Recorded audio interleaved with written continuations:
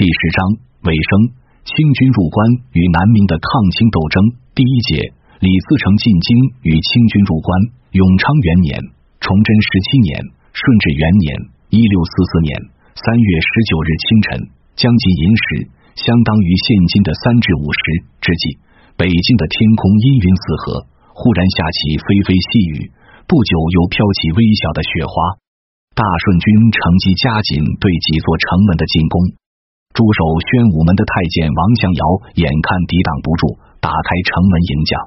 刘宗敏率领大顺军浩浩荡荡的开入内城。接着，守卫正阳门的兵部尚书张进彦，驻守平泽门的成国公朱纯臣也先后开门迎将。大顺军占领了北京内城。李自成得到捷报，从巩华城来到北京，中午时分头戴毡笠，身着青布衣。骑着杂色黑马，在刘宗敏和牛金星、宋献策等文武大臣的陪伴下，威风凛凛的从德胜门进入京城，从承天门进天安门，进驻皇宫。京城百姓纷纷书写“顺民”两字贴在门上，并摆设香案，张贴“大顺永昌皇帝万岁万万岁，永昌元年顺天王万万岁”之类的标语，热烈欢迎大顺军。大顺军进入北京后。立即张贴告示，要求市民照常营业，罢市者斩，并严肃军纪，宣布大师、帅、林城、秋毫无犯，敢有擅掠民财者，凌迟处死。有两个士兵抢掠前门店铺的绸缎，即被折杀，砍下手足，并在左栅栏上示众。社会秩序很快安定下来，商民开张店铺，嬉笑自若。李自成进京后。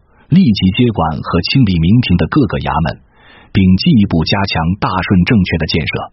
大顺军入京时，明朝在京的官员有两三千人，其中只有二十多人自杀，其余大多数躲藏起来。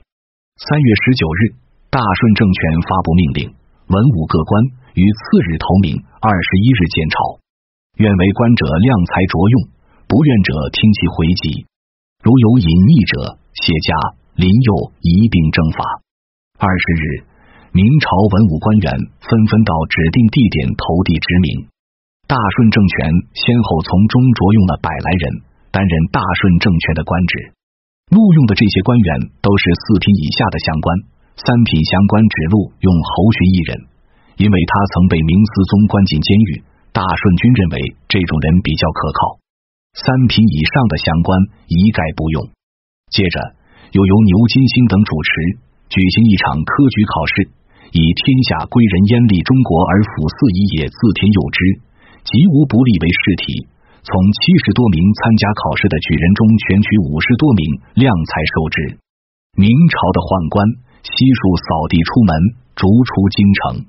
东厂和锦衣卫被彻底废除，厂卫头目一律严加惩办。大顺军还接管了明朝在黄河流域的地方政权，另行派官治理。据记载，大顺政权设官的地方，东至淮，西至蜀，包括陕西、山西、河北、山东以及豫东、苏北等地。此外，李自成进京后，还先后派遣部分兵力沿运河南下，任命名将江、原柳沟副将郭升为全将军。率数千人南下山东济南、兖州，任命原明朝宁夏花马池副将董学礼为全将军，率领一千五百名士卒到达江苏宿迁，命大顺军将领刘豹携带李自成的敕书，随董学礼南下，前往招抚南明弘光政权的将领黄德功、高杰、刘医生、刘兆基、徐大寿等。李自成进京后的这些举措，受到广大群众的欢迎。对民心的安定、局势的稳定产生了积极的作用。但是，以李自成为首的大顺军领袖都出身于贫苦农民，没有什么文化，目光较为短浅，只看到农民军所向披靡、节节胜利的一面，没有看到被推翻敌人的复辟阴谋与满洲贵族逐鹿中原的勃勃野心。进京之后，便被一时的胜利冲昏头脑，产生骄傲轻敌的思想。认为大功已经告成，江南可传檄而下，山海关不过是个弹丸之地，不足当京师一角，用削尖就可以踢倒。他们花费很大的精力和时间去筹备李自成的登基大典，制定永昌遗嘱，规定以水德王依附上兰和各种官制、补服、朝见仪节等。李自成还召集明朝降官，探讨登基的有关事宜。有关官员也忙于演习登记礼仪，并按传统惯例，每逢三六九日上表劝进。他们未能根据形势的变化。对军事部署和施行的政策进行必要的调整，很快便陷入被动地位，埋下了日后失败的祸根。首先，未能对经济政策进行调整。李自成农民军所建立的大顺政权是个农民政权，他在河南发布的均田免粮口号和实行的不当差、不纳粮、不催科的政策，反映了农民阶级的利益。与此同时，为了解决军饷和农民政权的开支，农民军除了没收明朝官府和宗藩的财产之外，又曾在南阳、襄阳等地实行屯田。攻占西安后，还宣布征收赋税，但屯田和征赋都未曾大规模推广，也没有长期坚持，所得数量有限。于是又实行追赃助饷。农民军认为，倾向所有，非到上则包下，皆赃也。衣冠所处皆赃耳。攻占西安后，便用严刑拷打的办法，强迫明朝官绅交出财物助饷。后来，随着大顺军的东进，这一政策便在关中、山西、河南等地推行开来。这些政策措施体现了农民政权的反封建性质，受到广大农民的欢迎和拥护，自然也引起明朝官僚和近身地主的恐慌和仇恨。攻占北京之后，如想进一步统一全国，确立起对全国的统治地位，就必须以轻徭薄赋政策来取代追赃助饷，并将没收财产的范围局限在明朝的内堂和宗室、勋戚、太监以及持敌对态度的明朝官绅内，使大顺政权获得更广泛的阶层，包括地主阶级界的支持。但是，以李自成为首的大顺政权并没有这样做。而是将追赃助饷推向高潮。三月二十七日宣布，所有在京的明朝官员，不论是否被大顺政权录用，一律都得纳银助饷。被录用者数额较少，自动交纳；不被录用者数额较大，抗拒不纳或纳不及数者，用夹棍刑追。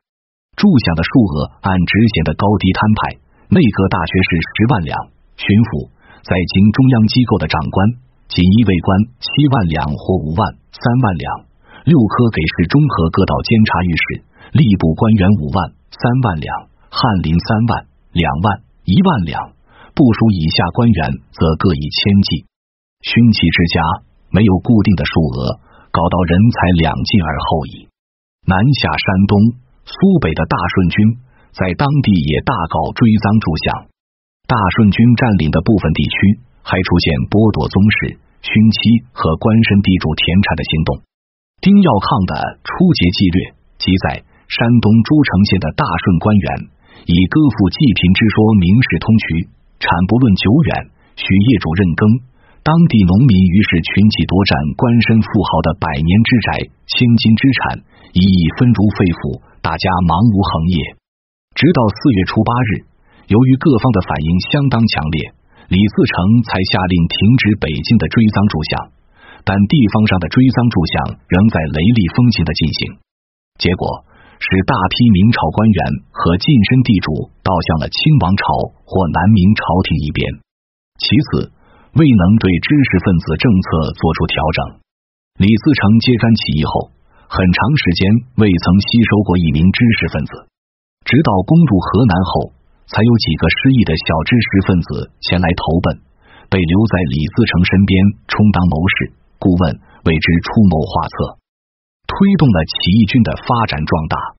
不过，这些知识分子层次都较低，如牛金星只是个举人，宋献策则是个江湖术士。他们长期生活在乡野或江湖之间，不仅缺乏统兵打仗、理政治国的经验，而且视野也较狭窄。不能高屋建瓴的把握全国的形势及其走向，贡献的计策难免会出现这样或那样的偏差和失误。如均田的绝对平均主义口号，虽然反映了农民群众的民主主义诉求，但它毕竟是小生产者的一种幻想，不可能真正实现。实行免粮，没有了赋税，国家机器就失去立足的经济基础。后来，随着农民政权的建立，需要大批文化人充当行政官员。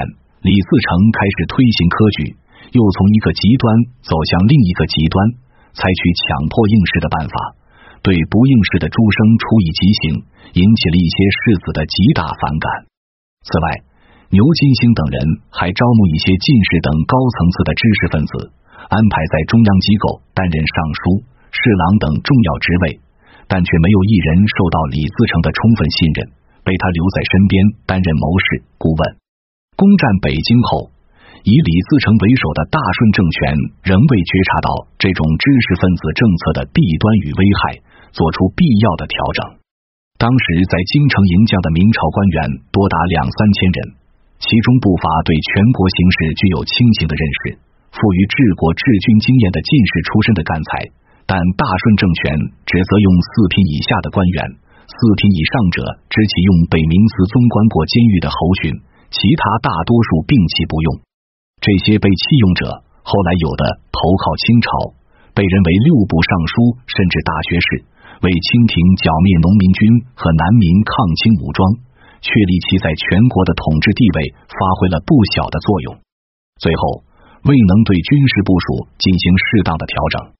明末农民战争爆发之后，农民阶级和以明王朝为代表的地主阶级的矛盾成为关内的主要社会矛盾；以清政权为代表的满洲贵族和以明王朝为代表的广大汉族的民族矛盾，则是关外的主要社会矛盾。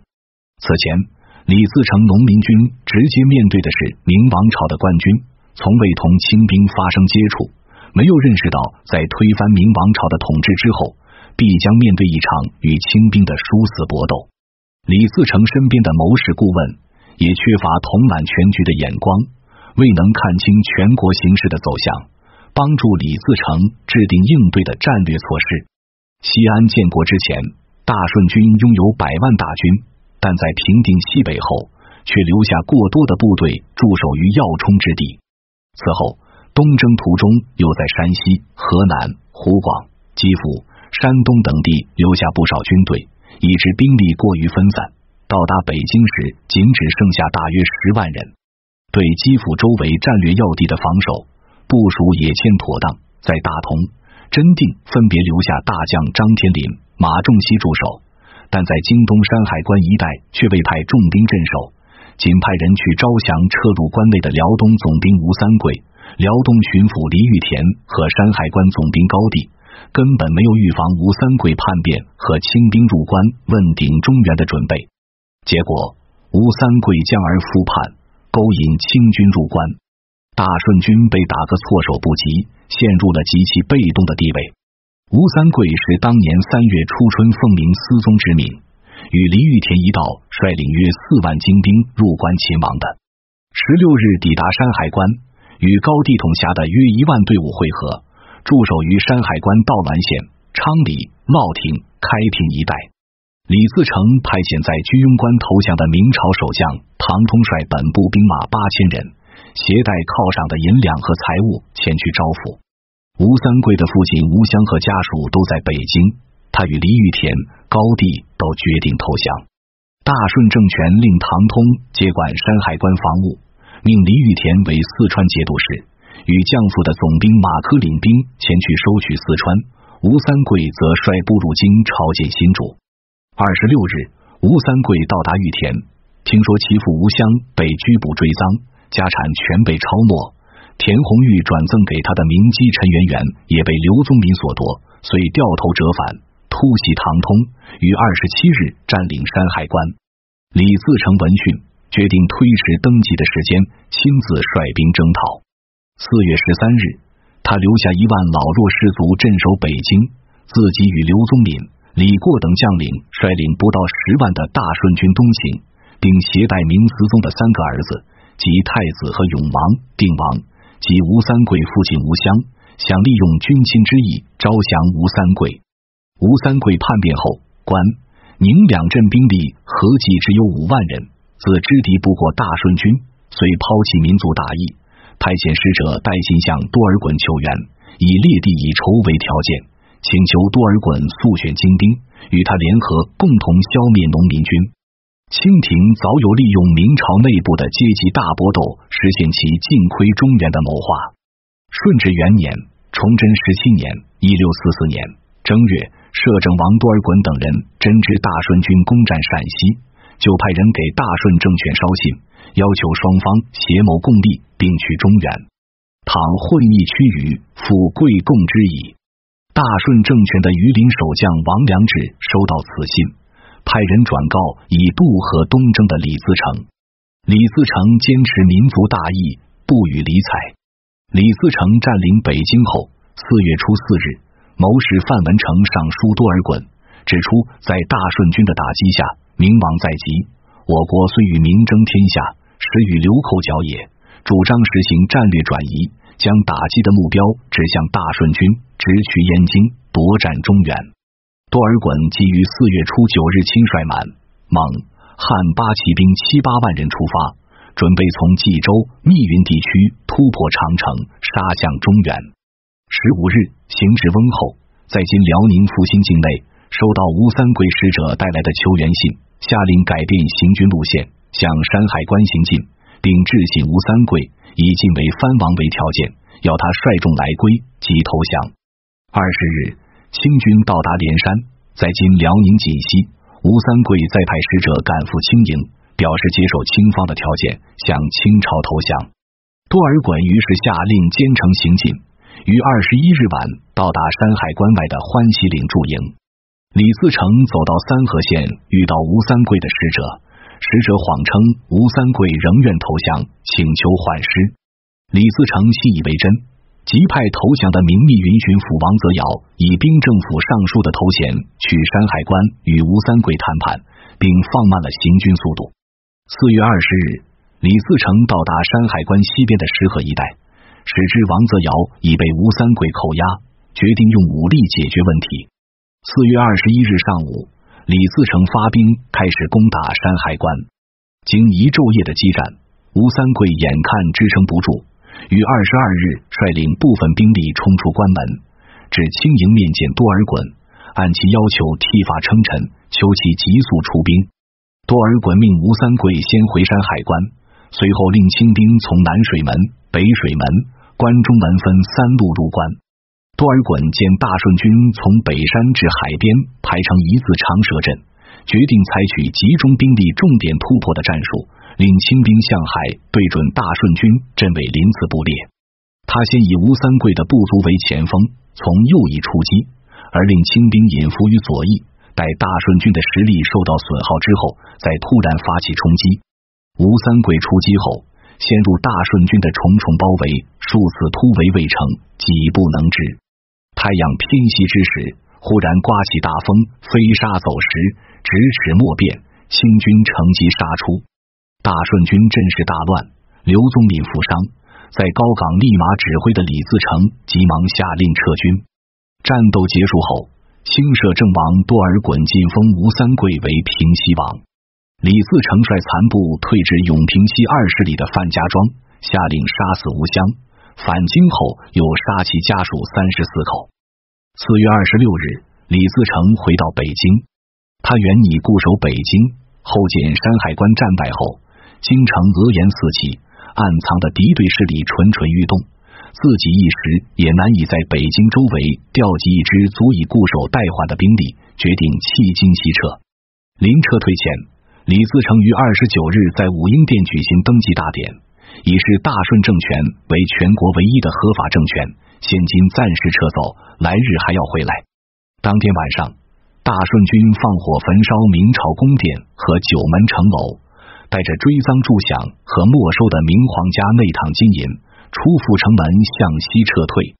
多尔衮命清江多铎、阿济格和吴三桂追击大顺军，自己率领一部分满洲八旗直取北京。五月初二日。多尔衮到达北京，随即发布文告，宣布他此行是为明朝报君父之仇，是灭农民军，一贼不灭，誓不反撤。要求所过州县削发头顺，开城卖款，否则大兵已到，进行屠戮。为了笼络人心，还令官民人等为明思宗服丧三日，并命投降的明朝官员李明瑞为礼部侍部，负责为明思宗追谥与殡葬。接着又发布文告，令在京内阁、六部、督察院等衙门官员，据以原官同满官一体办事。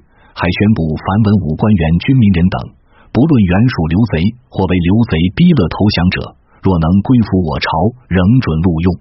同时，宣布将被起义农民夺占的田产归还本主，废除明末加征的辽饷、缴饷和练饷。五月二十日，下令停止执行入关后推行的剃发令，宣布天下臣民照旧束发，悉从其变。这些措施。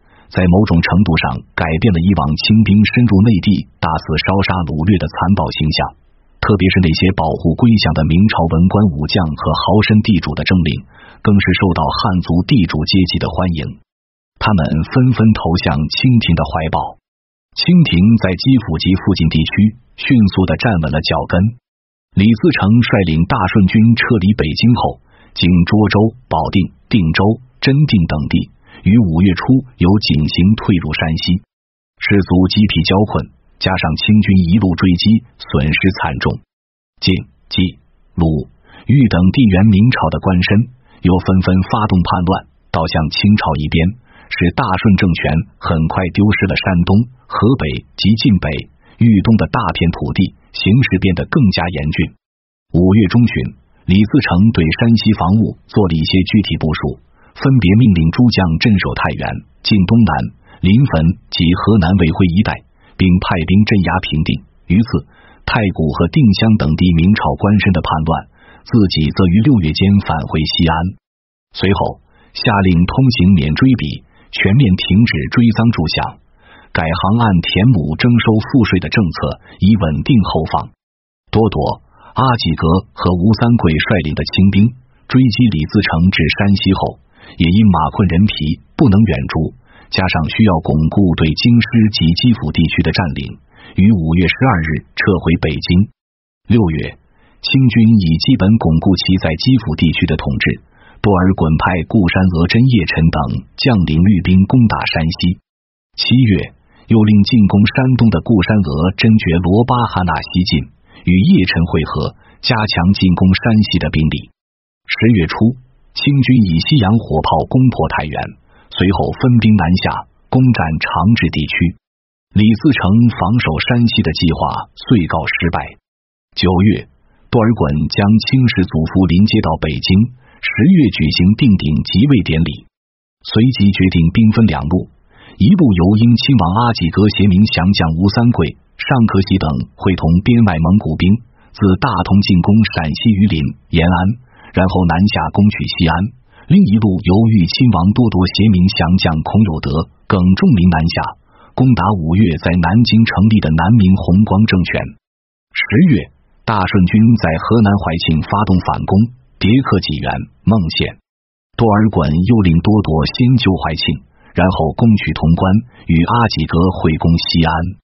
多铎率兵抵达怀庆后，大顺军主动撤退。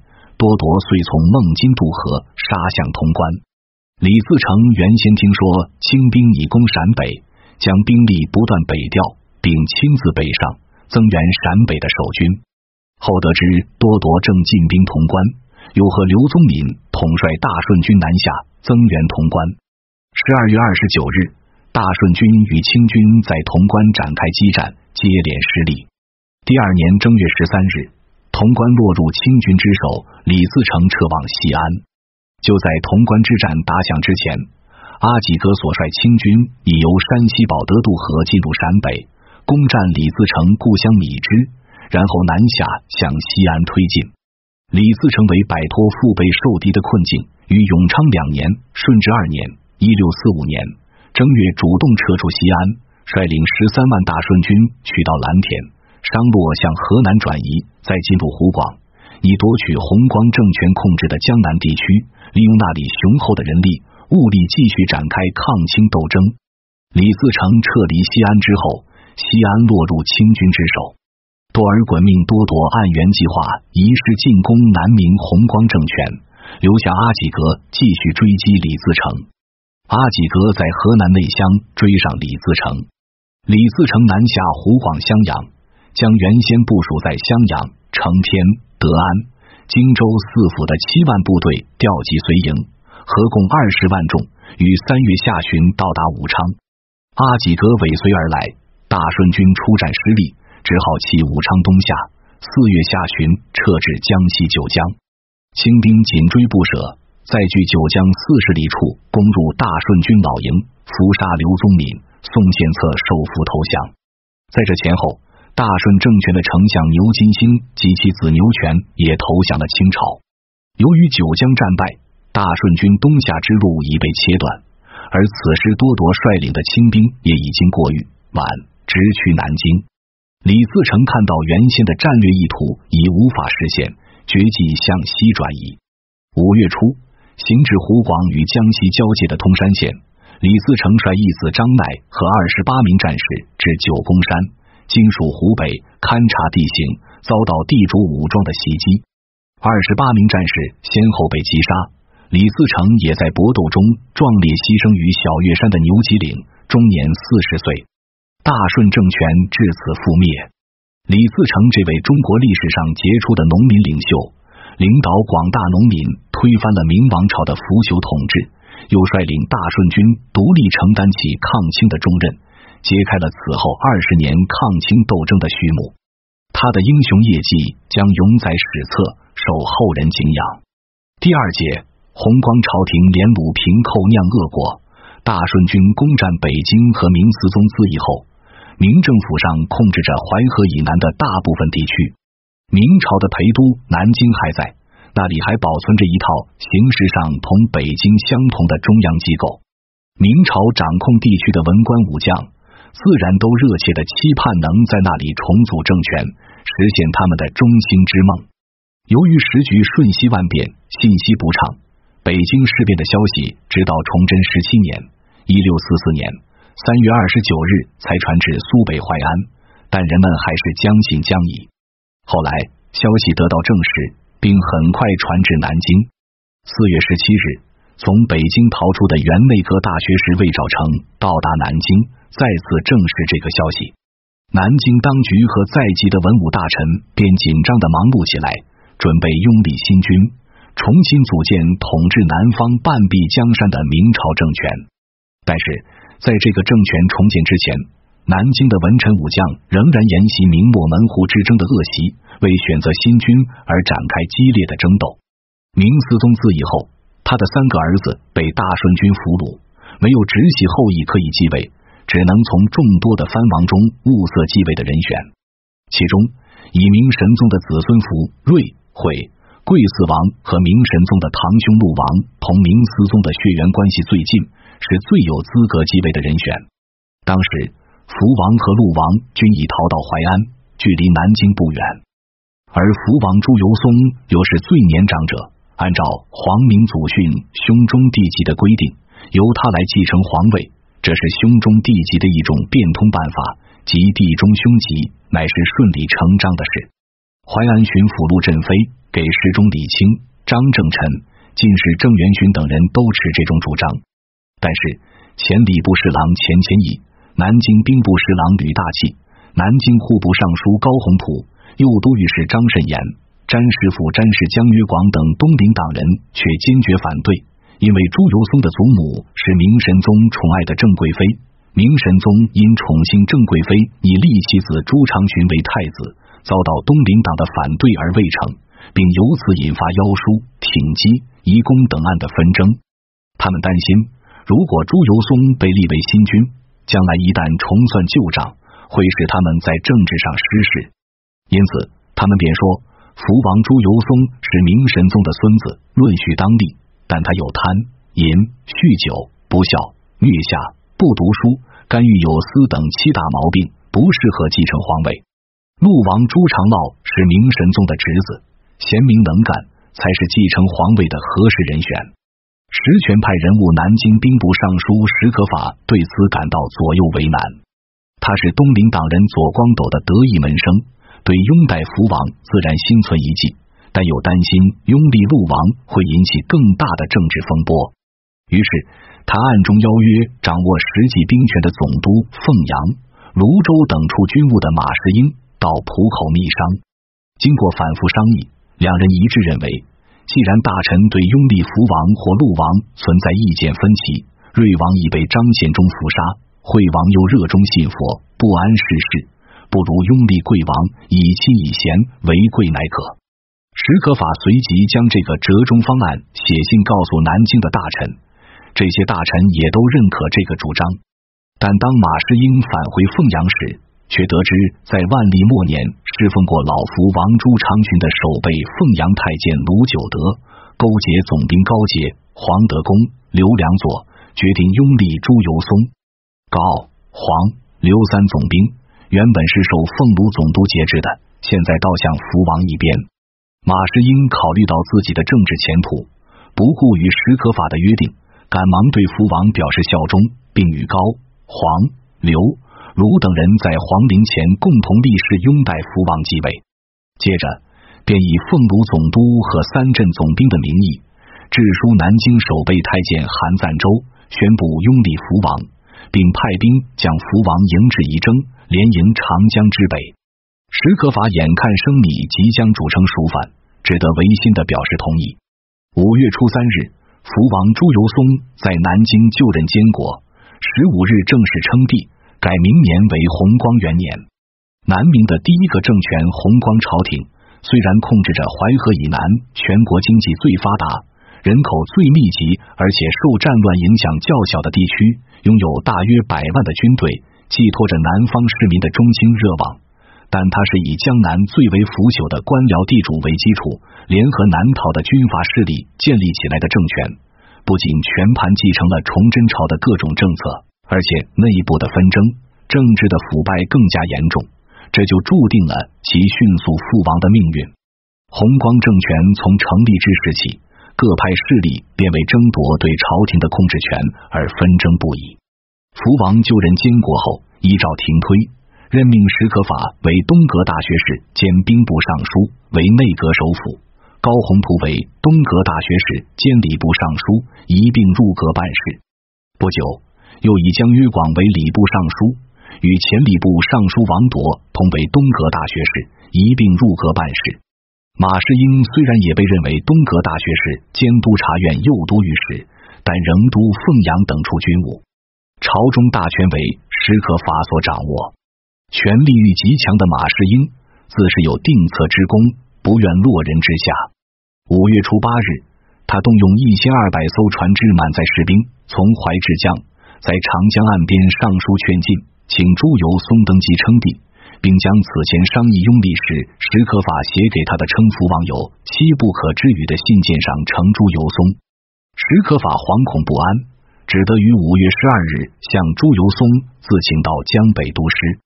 朱由崧称帝后，史可法于五月十八日辞朝而出，让出内阁首辅的职位，离开南京。马士英便如其所愿，留朝辅政，成为内阁首辅，掌控朝中的大权。马士英辅政后，六月间向弘光帝推荐其名列逆案的好友阮大铖，说他执兵，请皇上赦其罪，认为兵部右侍郎。这又引起一场轩然大波。高宏图、江约广、吕大器、陈子龙、左光斗之弟左光先等东林附社人士异口同声的称阮大铖是逆案巨魁，必不可召，并攻击马士英推荐阮大铖是为阉党翻逆案。双方展开激烈的争辩，阮大铖的启用问题便被暂时搁置下来。但弘光帝听马士英在推荐时说过，当初在浦口与诸臣商议拥立。阮大铖曾致书坚决反对拥立陆王，主张拥立福王，因此对他存有好感。八月三十日，弘光帝再次接到安远侯柳作昌的推荐奏章，不经停议，便直接下旨传升阮大铖为兵部天柱右侍郎。不久，又命兼右千都御史，巡阅江防，再转为兵部左侍郎。一年二月，晋为兵部尚书，执掌弘光朝廷的军事大权。东林。复社人士将马士英、阮大铖视作阉党势力，并没有多少根据。马士英是贵阳人，万历四十七年（一六一九年）成进士，授南京户部主事。天启年间迁郎中，历任延州、河南、大同知府。崇祯初年迁山西洋河道副使、宣抚巡抚。他的政治态度是倾向东林，复社的同东林复社人士多有往来，是复社首领张溥的好朋友。他之所以举荐阮大铖。是为了报答阮大铖的知遇之恩。马士英是在万历四十四年与阮大铖同中会试的。后来他在巡抚宣抚时袭取公堂，窥疑朝中权贵，遭到镇守太监王坤的揭发，而被削职遣戍，流于南京。崇祯十一年（一六三八年），阮大铖也因刘都防乱攻击之初而迁居南京郊外，遂与马士英同病相怜，结为密友。崇祯十五年九月，复社人士以重金贿赂司礼太监，再次召周延儒入京为首辅。阮大铖闻讯，赶到扬州长江岸边迎接周延儒，送上大笔钱财，请求允其复出为官。周延儒收下钱财，但顾忌阮大铖名列逆案，未敢贸然启用，让他从久废的官员中推荐一名有才可用而又相知的人顶替。阮大铖推荐了马士英，马士英因此由庶几忽起而出任俸禄总督。马士英出任弘光朝廷的首辅之后，推荐阮大铖就是对他此举的报答，并非因为阮是阉党分子，更不是为了掀翻逆案。弘光朝廷除其用个别名列逆案的废斥官员外，也没有掀翻逆案的举措。阮大铖本清流，原属东林一派。后虽有巴结冯迎阉党的行为，但没有干过多少坏事。被列入钦定议案的名单后，他借于南京编剧演戏，结交朋友，以声乐自娱。过稿：吴英基、陈真慧等复社人士又搞了一场刘都防乱攻击的签名运动，弄得他有口难辩，名誉扫地。但是，当复社人士凑钱运动周延儒的复出时，他为求自己的付出，还是奉送了一大笔钱财。尽管阮大铖算不上一个智杰之士，但给他戴上逆案巨魁的大帽子，显然是太过分了。当时全国处于四分五裂状态，对立各方都面临着争取人才、壮大自己势力的问题。清军占领北京后，不仅留用大批投降过大顺军的官员，而且还礼聘名列逆案的原明内阁大学士冯全。弘光朝廷的东林，复社人士却以门户生气作为用人的标准，这种作茧自缚而又畏冤屈于的做法实不可取。更有甚者，当他们看到马士英、阮大铖受到弘光帝的信任而难以扳倒之后，吏部左侍郎的吕大器、内阁辅臣江约广、高宏图、左都御史刘宗周、吏部尚书张慎言等人，竟纷纷要求辞职。尽管弘光帝一再苦苦挽留，他们仍然拂袖而去。即便如此，弘光朝廷内部的门户之争仍在继续，直至清兵攻占南京方告结束。这种门户之争极大的消耗了弘光政权的力量。弘光君臣大多极其腐败，弘光帝性格懦弱，又不思进取，即位之初还叫关心朝政，一再召对阁臣。先后无虚日或一日再召，过了一个月便召对见息。九月至十月，大学士江约广、高宏图相继辞职。书读的少，无法亲裁章奏的弘光帝变为正于马士英，自以拱手听之，自此不复欲闻政事。其实国用匮乏，弘光帝却不念时间，大肆挥霍。即位之后，不仅宴享毫无节制。还耗费巨资修建兴宁宫。八月底，兴宁宫落成，命大学士王铎为内殿书写一对楹联，曰：“万事不如碑在手。”一年几见月当头，他便搬进去住，近期举杯邀月，观赏月季之雅兴。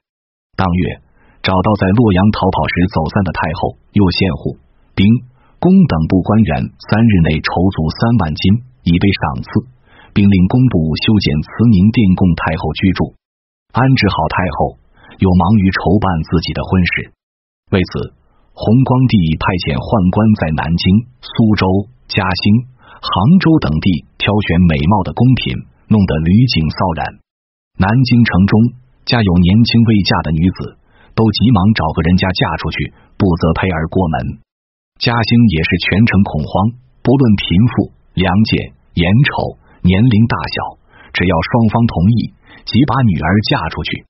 于是，不论白天夜晚。满长街竟是嫁娶的人流，以致行路挤塞。后来，宦官从各地选来一百五十名年轻的淑女，弘光帝从中挑选了三人，但未及完婚，清军已逼近南京，弘光帝只得将这三名淑女放回娘家，自己则逃离了南京。弘光帝好酒贪杯，还喜欢观看传奇剧。八月，他召调教坊乐伎六十四名入宫。后嫌人数太少，又下令扩充。阮大铖、杨文聪、冯可宗等又从外地购集一批女伶充数，在大内演出《麒麟阁》等传奇剧。弘光帝经常夜以继日的饮酒观剧，有时兴起便拉起女伶去发泄性欲。他身体肥胖魁梧，有时竟一日饮死同于两人。由于沉溺声色，弘光帝也喜好春芳媚药。朝天宫倒是元迎进献春芳，被认为太常少卿。江湖郎中郑三山为之制作媚药，也得宠幸。制作春芳媚药的雀脑蟾酥一夕永贵。乞丐手捧一重一戒，铁皇书上供，人莫敢犯。民间因此戏称弘光帝为蛤蟆天子。以马士英为首的文臣武将，生活都极其腐朽，任人唯亲。马士英之子马希游白衣着为都督佥事，充总兵官。阮大铖的外甥张秉贞也由四川按察副使升任浙江巡抚。他们还卖官鬻爵，贪污受贿。马士英推行纳元制，规定童生交上足够的银两，不经考试即可取得生员的资格。后又推行纳助公吏，公开标价出卖中书、代诏、监记、直方等官衔。规定武英殿中书九百两，文华殿中书一千五百两，内阁中书一千两，代诏三千两，拔贡一千两，推职一千两，监记、直方成千上万不等。所得钱款，名义上是用来资助军饷，实际上都装入了马士英的腰包。当时的民谚讽刺说：“中书随地有，都督满街走；奸计多如羊，直方见如狗。”因其千年臣，拔贡已成手，扫尽江南钱，填色马家口。阮大铖也公开卖官鬻爵，门庭若市。他直言不讳的承认，某人求奸计，出馈金五百，不纳，再赠千金，亦不纳，直至两千。有了钱财，他们便大肆挥霍，尽情享乐。马士英整天待在家里，同立根和尚谈禅，斗蟋蟀。人称蟋蟀相公，总兵官刘泽清在淮安大兴土木，建造建义王宫的连云甲地和豪华庭园。整个南京的官绅也都沉浸在声色犬马、寻欢作乐之中，一片醉生梦死的景象。崇祯朝的经言讲官于皇，在当年九月二十八日的一封信里，不胜愤慨的描述道：“有可疑者，国难初闻，厌看不彻。”忽临未毕，生计杂陈，而俨然相滚，与鱼丸同其欢谑，略无改容。今且驾凌云之台，演彻夜之剧，怪诞淫亵，错出征旗，妇女若狂，通都田宴。而一二领袖之家，皆具事业，争夺梨园，彼此相斗，家童至于破额，长吏为之解分。如此景象，岂复城市借乎？吴三桂降清与清兵入关，使社会矛盾由关内原先汉民族内部的阶级对抗和辽东地区的满汉民族对抗，向全国性阶级矛盾和民族矛盾交错的局势发展。弘光君臣出于阶级的本能，仍把农民起义军视为不共戴天的死敌。弘光帝在登基诏中即指示李自成大顺军使燕姬扫地以蒙尘，龙御宾天而上至。激起三邻共愤，万姓同仇，号召臣民戮力匡剿，助于敌忾。据此，弘光朝廷制定了连鲁平寇，又称借鲁平寇的基本国策，幻想借助清军的力量消灭农民起义军，与清朝分疆而治，以图偏安一隅。正是基于这个国策，弘光朝廷建立之后，就对清军采取步步退让的态度，根本没有恢复中原的打算。大顺军离京西撤后的两三个月内，基辅南部和山东。河南等地的明朝官绅纷纷发动反对大顺政权的叛乱，使这一带地区处于归属未定的无主状态。弘光朝廷却未曾举兵北伐去收复这些失地。相反，史可法于崇祯十七年（一六四四年）五月出任都师，奏请弘光帝册封高杰为兴平伯，刘泽清为东平伯，刘良佐为广昌伯，靖南伯黄德公加封侯爵。分别驻守于南极的瓜州，在今江苏扬州附近；寿州（今安徽寿县）、淮安、真州（今江苏仪征）组成江北四镇。同时，为驻守武昌的宁南伯左良玉加封侯爵，与江北四镇共同组成一道江淮防线，以防大顺军的南下，却至京畿南部河鲁、欲等地于不顾。为了实现连鲁平寇的计策。弘光朝廷于六月间派遣兵部右侍郎兼右迁都御史左茂帝、太仆寺少卿马绍宇、总兵陈洪范作为使者，携带白银十万两、黄金一千两、断卷一万匹，作为酬谢清廷出兵的礼物。另携册封吴三桂为济国公，犒赏银一万两的诰命，前往北京与清廷进行谈判。使臣出发前，弘光帝交代。谈判的起点是割让山海关土地，实行南北互市，但给清岁币不得超过十万两。清廷刚入关占领北京及其附近地区之初，因兵力有限，实行的是得寸则寸，得尺则尺之策。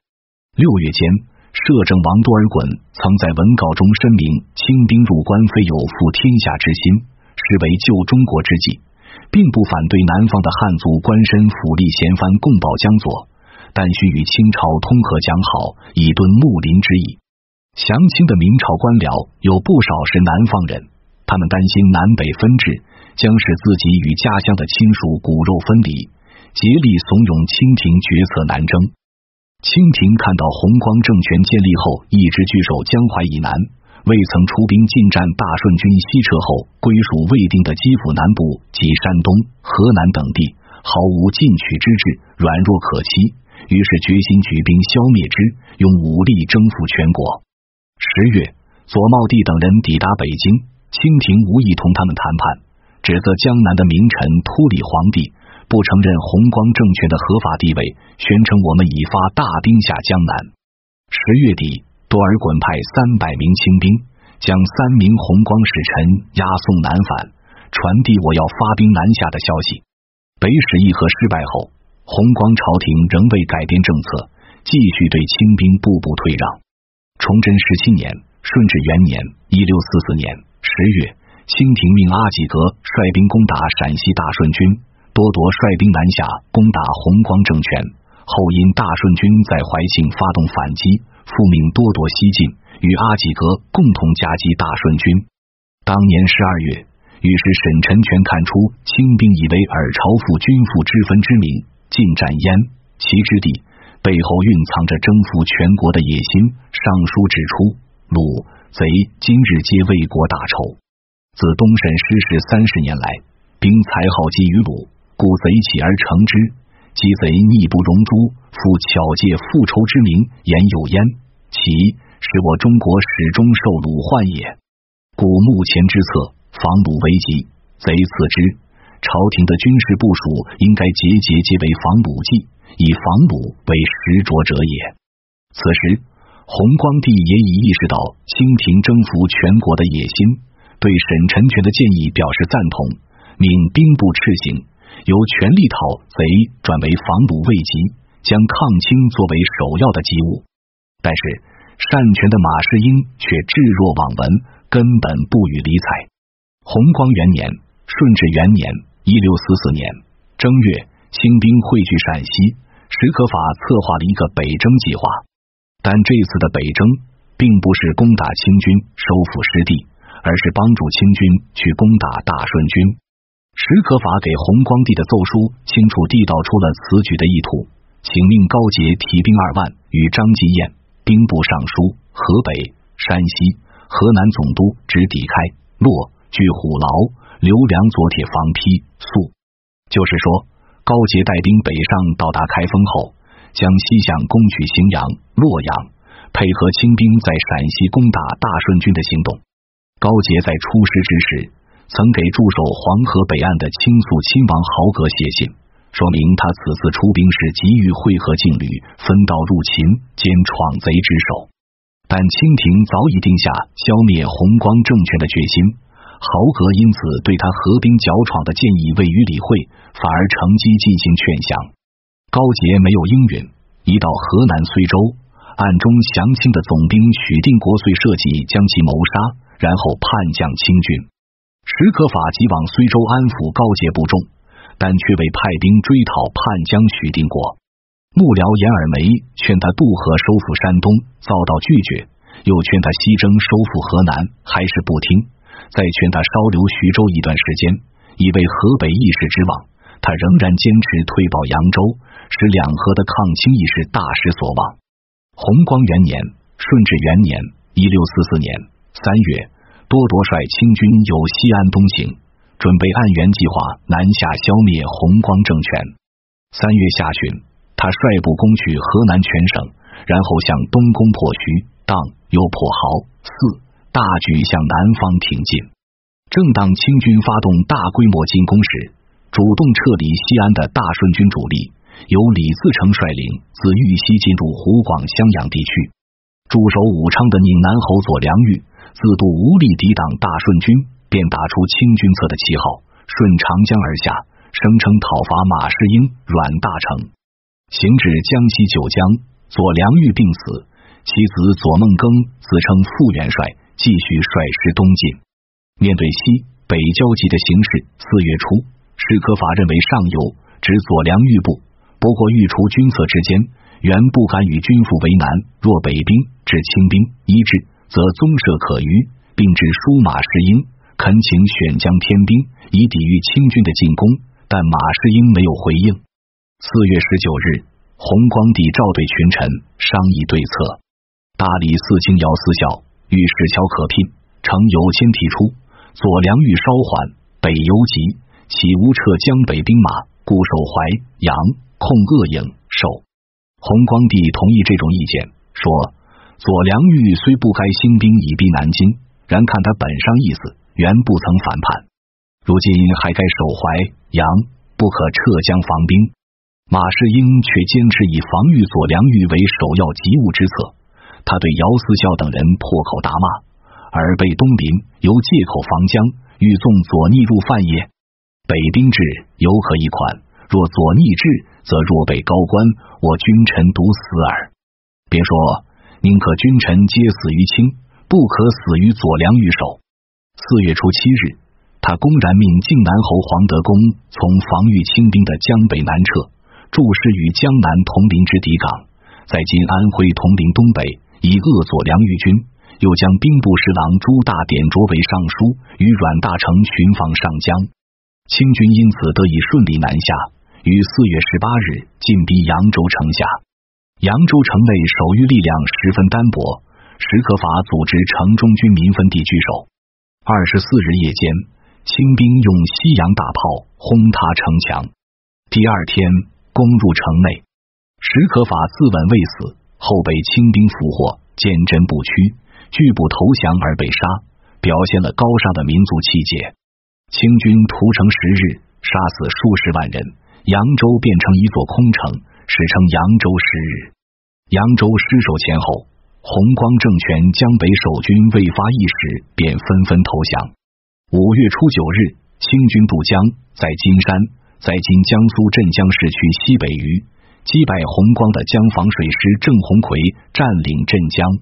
初十日凌晨，弘光帝与马士英仓皇逃离南京，但因在丽水遭到当地士兵的抢劫而走散。弘光帝在永卫营的护卫下逃到芜湖黄德公的兵营，意图组织指挥身边的大臣和部队向杭州做战略转移。马士英则护送皇太后逃到杭州。十五日，多铎率兵抵达南京，经营总督新城伯赵之龙率文武百官跪迎。几天后，黄德功的部将田雄叛变，谋杀黄德功，将弘光帝交给清兵。为期一年的弘光朝廷至此覆亡。六月初八日，马士英借皇太后懿旨，在杭州拥立陆王朱长老监国。第二天，陆王即按照马士英的主意。派陈洪范去同清军议和，清兵置之不理，继续向浙江挺进。此前，陈洪范在出使北京返回途中，已写信向多尔衮投降。清军令陈洪范返回杭州，劝降陆王。马士英、阮大铖弃城而逃。陆王。在陈洪范的劝说下，于六月三十日率领群臣投降。七月。清摄政王。多尔衮得知江浙一带已不战而定，任命洪承畴为江南总督，会同多罗贝勒勒克德浑、固山额真叶臣接管江南各地，令多铎班师回朝。多铎返京时，将弘光帝、陆王和在南京投降的王铎、钱谦益等弘光朝廷的高级官员一并带往北京。一年五月，弘光帝。陆王和其他降清的明藩王均在北京遭到杀害。弘光政权虽然仅存在一年的时间，但其连鲁平寇的政策却加速了大西政权的覆灭。张献忠率部于崇祯十七年（一六四四年）正月由荆州西攻夔州，进入四川；六月攻占重庆，八月又下成都，然后分兵攻取四川各府、州、县及各土司。他在成都正式建立政权，开始仍称大西国王，不久称帝，定年号为大顺，以成都为西京。张献忠出身贫苦农民，没有多少文化。他所倚重的负有总爵诸事之责的左丞相汪兆麟，不过是个同城诸生，也就是秀才，并不具有远大的政治眼光。因此，大西政权制定的政策也出现许多偏差与失误，如对知识分子。以免开科取士，以免又严加防范，规定科举未中者不得在乡居住，以为秀才在乡会造谣生事，必须携家属入城居住，并十人一节，一家有事连坐九家。又如经济上，入川之初宣布免赋三年，随即仿照大顺政权的办法实行追赃发饷，考略宗藩贵戚及大户富民，勒令书饷，多则万金，少一千金。另外，大西政权还严令搜捕原明士官及卫所世袭官员，一律加以诛杀。这一系列举措引起四川士子官绅的极大恐惧与不满。弘光政权建立不久，任命樊一衡为川陕总督，就辅王英雄以大学士兼兵部尚书总督川湘云贵地方。这两人皆为川籍人，即分头率兵向四川进攻。第二年春，弘光总兵曾英攻占重庆，其他红光部队也攻占綦江、黎雅、叙州等地。四川境内的官绅、地主乘机发动反对大西政权的叛乱，杀害大西官员。张献忠激愤异常，认为蜀民与他作对，加紧进行军事扫荡。他看到四川官绅、地主是反对大西政权的主要势力。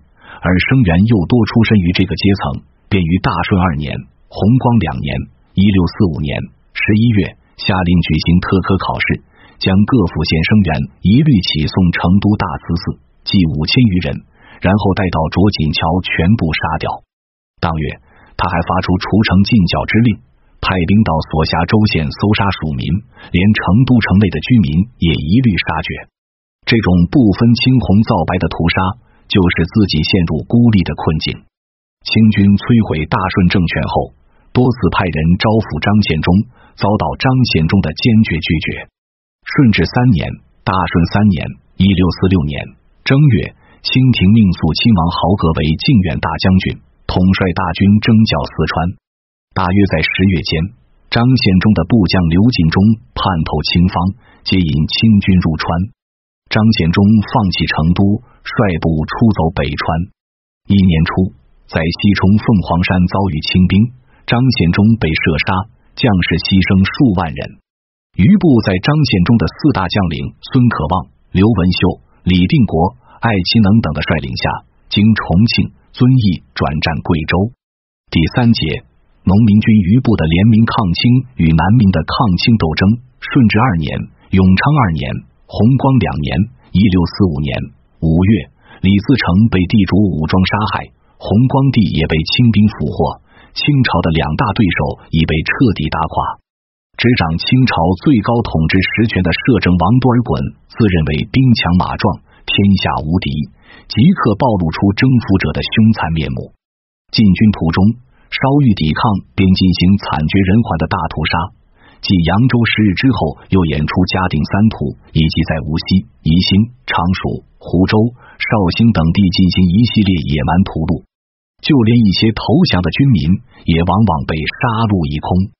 清朝入关之后，陆续施行圈地、头冲和逃人法三大恶政。攻占西安和南京之后，三大恶政愈演愈烈。使民族矛盾进一步激化。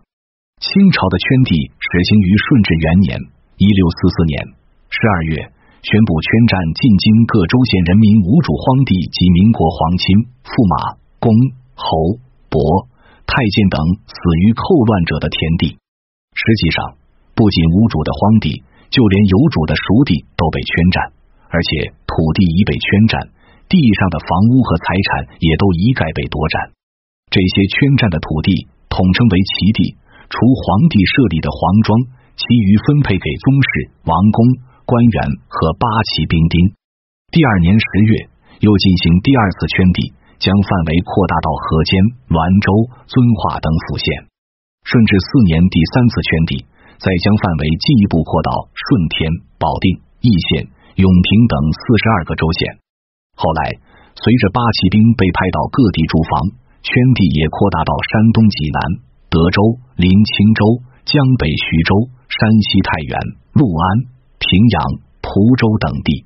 直到康熙二十四年（一六八五年），清廷颁布死后不许圈的谕旨，圈地放告结束。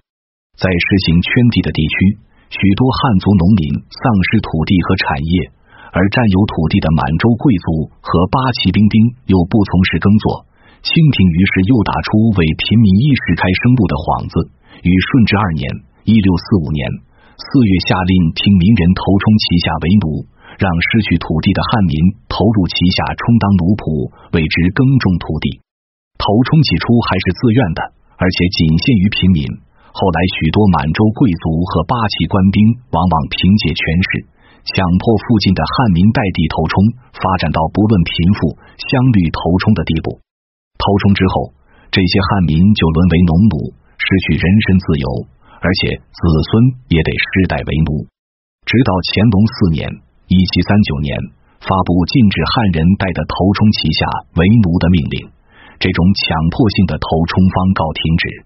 明朝末年，清兵在辽东和深入基辅、山东、山西等地的几次战役中，除掳掠大批财物，还俘获大量汉民。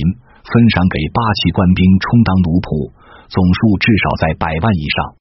不少人因忍受不了残酷的奴役和虐待，纷纷逃亡。入关之后，清军又在征战中俘获大批人口，加上圈地和头冲，被役为奴的汉民数量剧增，逃亡现象也愈演愈烈。清廷于是又制定严禁奴仆逃亡的逃人法。顺治三年（一六四六年）规定。逃人编一百，归还本主；隐匿之人正法，家产及煤，邻里各编一百，流徙边远。此后又设立兵部都捕衙门，专职缉捕逃人和盗贼。后来逃人法屡经修订，但都贯穿着薄惩逃奴、严惩倭主之原则。逃人的缉捕给汉族百姓带来深重的灾难。一个逃奴的激活。往往牵连到一二十家，甚至五六十人，弄得他们倾家荡产。奸恶无赖、贪官污吏又往往乘机陷害无辜，借以图财害命，造成社会的动荡不安。除了三大恶政，剃发令的施行，更是激起汉族人民的强烈反抗。清兵在辽东地区曾推行强迫汉人剃发改制的命令，强迫当地汉人按照满族的风俗习惯剃发易服。山海关战后，多尔衮又下令沿途各州县的官民都需剃发留辫。进入北京后，此举便遭到汉族居民的强烈反对。在朝的汉族官员少有遵命剃发的，不少官员甚至冒着性命危险护法难逃，基辅百姓则常揭竿抗拒。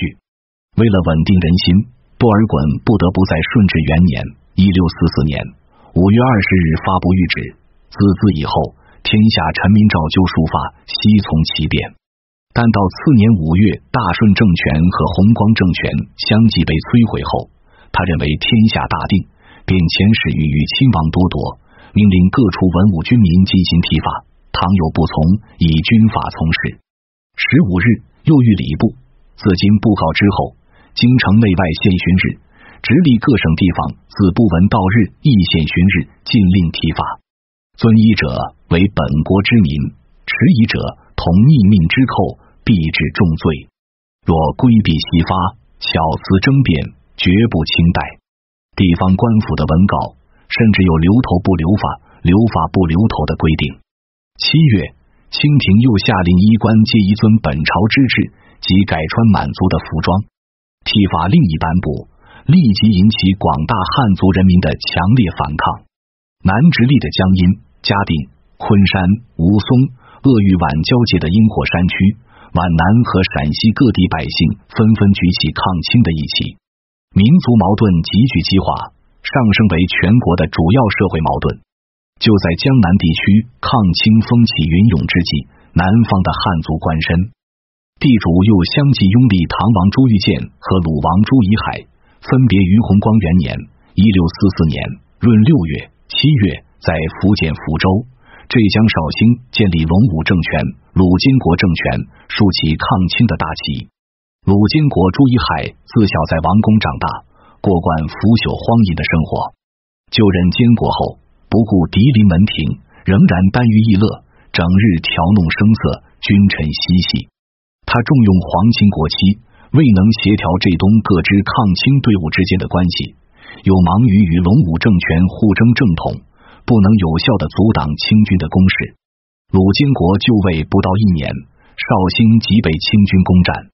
自己则在部将张明镇等人的护卫下逃往海上。龙武政权是第一个举起抗清旗帜的南明政权。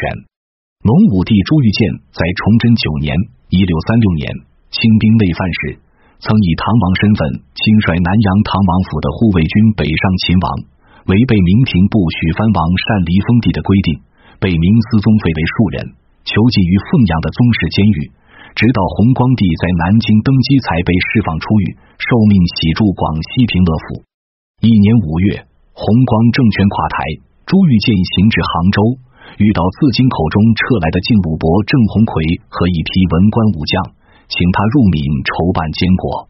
闰六月初六日，南安伯郑芝龙等护送他进入福州。次日，他正式就任监国。闰六月二十七日，即皇帝位。从七月初一日起改元龙武，在南明诸帝中，龙武帝是稍有的一位想有所作为并有一定政治眼光的人物。他以中兴明朝作为自己的奋斗目标，并坚持抗清斗争。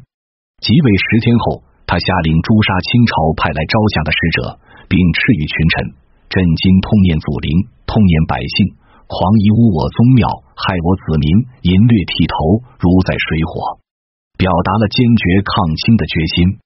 龙武政权的建立得到了两广、赣南、湖南、四川、贵州、云南等地南明官员的承认。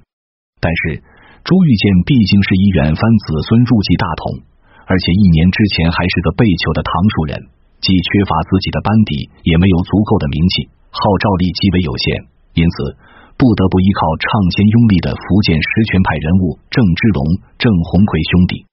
郑芝龙原是海盗商人，即所谓海寇。崇祯年间接受明廷的招抚，后借为明廷征剿海寇的之机，逐步清除自己的海上对手垄断闽粤一带的对外贸易，积累起大量财富。龙武政权建立后，龙武帝因其拥立之功，封郑芝龙为平鲁后，郑鸿逵为靖鲁后，并封其族妻猛将十余人为后伯，内外大权于是尽归郑芝龙。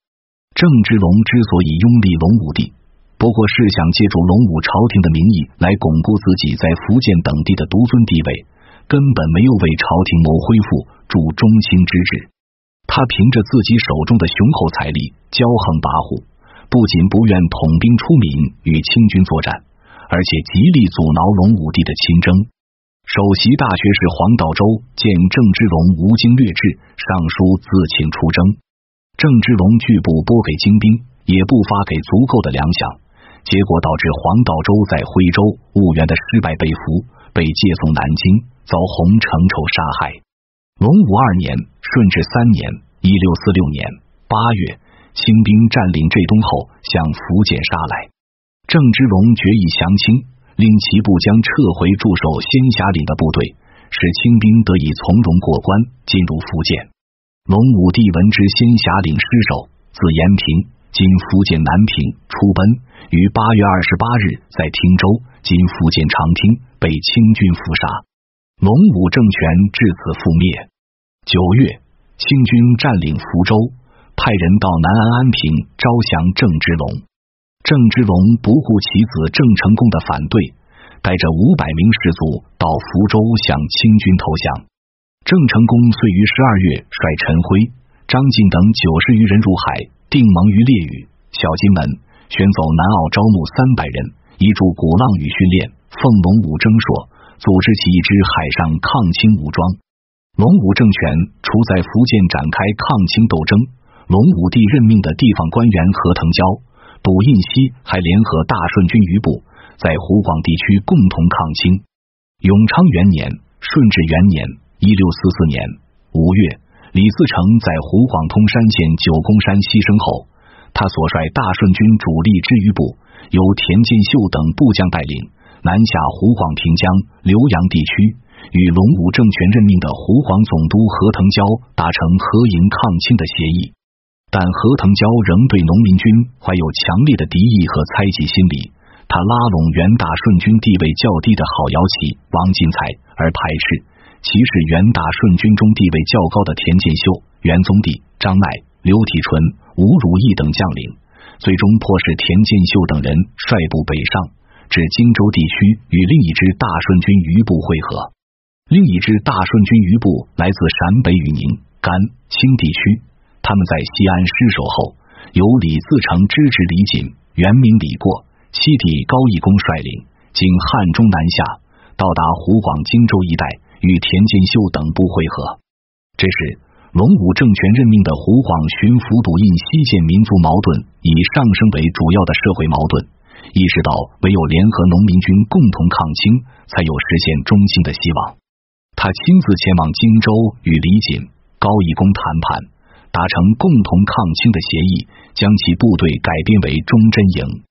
笃印熙随即与忠贞营一起对荆州发动进攻，并请求何腾蛟率部由越州（今湖南岳阳）北上会师武昌。主鄂清军力量比较薄弱。驻守南京的清廷南大将军勒克德浑急忙率兵速江西上，于顺治三年（隆武两年，一六四六年）正月到达武昌，然后派出一支部队南下越州，阻击何腾蛟的部队，迫其退回长沙，自己亲率主力直取荆州，于二月初分兵两路直冲中真营营垒，李景等猝不及防，大败西撤。退入川鄂交界的三峡山区，后转至鄂西北的奎东。隆武政权覆灭后，南方的明朝官绅又在隆武两年（顺治三年，一六四六年）十月和十一月，分别在肇庆、广州拥立贵王朱由榔、隆武帝之弟，续封唐王朱玉鄂为监国。为争正统地位，朱玉鄂抢先在十一月初五日称帝，建立少武政权。朱由榔闻讯。也于十八日称帝，建立永历政权。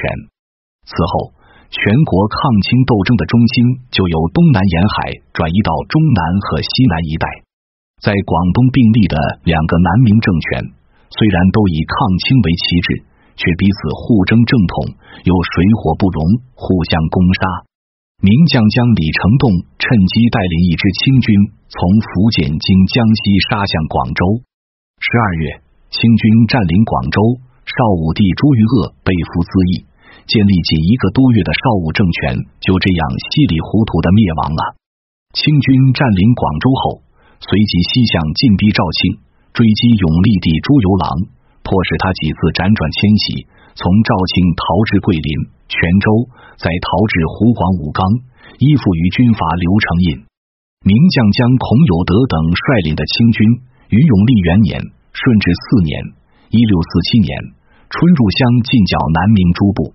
已被永历帝授为大学士监督师的何腾蛟对南明诸将节制无能，一溃千里。八月，清军进攻武冈，刘承胤企图挟持永历帝降清，永历帝连夜仓皇出逃，由监道走广西柳州。何腾蛟、郝瑶琪等部退入广西，永历帝因大学士兼兵部尚书瞿世嗣之请，重新回到桂林。永历二年二月，名将将孔有德、耿仲明尚可喜率部由湖广经广西泉州向桂林推进。永历帝不顾瞿世嗣的反对，于三月初十日带着几名大臣逃往南宁。就在永历帝步步南撤、形势危急之时，一些降清的名将纷纷反清归明，使永历朝的局势暂时得到了缓解。先是江西的金生桓。王德仁为清廷平定江西大部分地区后，因清廷坚持重满清汉、重辽东旧人而清主官心腹人员之策，仅被授为总兵，副总兵之职，受制于清廷派来的江西巡抚张于天，心中感到愤愤不平，遂于永历二年（顺治五年（一六四八年）正月反正于南昌，攻占了九江。广东的李成栋率清军迭克福建、两广之地。自认为战功卓著，却只得到一个两广提督的头衔，而和他一道由闽入粤的汉军总兵同杨甲，尽管手下没有多少军队，也没有多大战功，却因出身于辽东世家，系辽东旧人，被授为两广总督兼广东巡抚之职，处处对李成栋进行监视。李成栋因此十分不满，也在永历两年四月反正于广州。在此前的三月间。北方又发生了甘肃回民米喇印、丁国栋的反清起义。八月发生了刘泽清、李化金的反正抗清与余元军的反清斗争。十月，山西的江乡又在大同起兵反正。第二年二月，王永强等也在陕北起兵反清。江西、广东两省的反正归明，迫使深入湘、桂的孔有德等部清军做出战略上的撤退。赌印西。王进才、何腾蛟、郝瑶琪纷纷率部出击，赌印西还亲自奎东，请回忠贞营入湘作战。他们分头作战，相继收复了大片失地。抗清形势逐渐好转，永历帝也回到了肇庆。但是，永历政权并没有趁此掀起更大规模的抗清斗争，进一步扩大战果。相反，在此后的几年时间里，时而前进，时而后退。何腾蛟也于永历三年（顺治六年（一六四九年）在湘潭为清军所伏杀。永历政权的抗清斗争之所以会屡起屡伏，主要原因是朝廷腐败，内部矛盾重重，缺乏一个具有远大战略眼光的坚强领导核心。永历君臣或是纵情声色、荒淫无度，或是分党分派、争权夺利。在广东李成栋反正之前。是大学士瞿世嗣等人同广西南巡军阀庆国公陈邦富之间的矛盾。李成栋反正之后，起初是未曾降清的护从之臣，即所谓西勋，同反正来归的广东文官武将，即所谓东勋之间的矛盾。后来又逐渐演变为所谓的吴楚党争。楚党的主要人物有都御史袁鹏年、副都御史刘香客、给事中金宝及丁土奎、蒙正发等。他们外联总督军务兵部尚书瞿十四，内侍反正功臣李成栋，因为出头露面的丁猛原都是湖广籍，故被称为楚党。所谓吴党，是楚党对反对自己独揽朝政者的诬称。从严格的意义上来说，并不存在。吴党主要人物有大学士朱天林、王化成、户部尚书吴真玉等，他们外节读师大学士杜印熙、庆国公陈邦富、内结长锦衣卫士的左都督马吉祥及宦官势力。两派为争夺朝廷的权力展开激烈的斗争，后来又衍生出关于如何对待原来的农民军问题的意见分歧。以何腾蛟为代表的部分南明官绅，对执行联名抗清的原农民军采取歧视和排斥的态度，妄图依靠残民的文武官员来实现中兴。以朱天林、王化成、杜印熙为代表的一些有识之士，认为面对深重的民族危机，只有联合农民军余部，才有复兴的希望。由于永历朝廷的指挥无能，加上激烈的党争。南明军队在战场上不断遭受挫折。永历四年（顺治七年（一六五零年）正月，清军攻占南雄，打开广东门户，永历帝逃往梧州。到十一月，广东已基本落入清军之手，桂林也被攻占。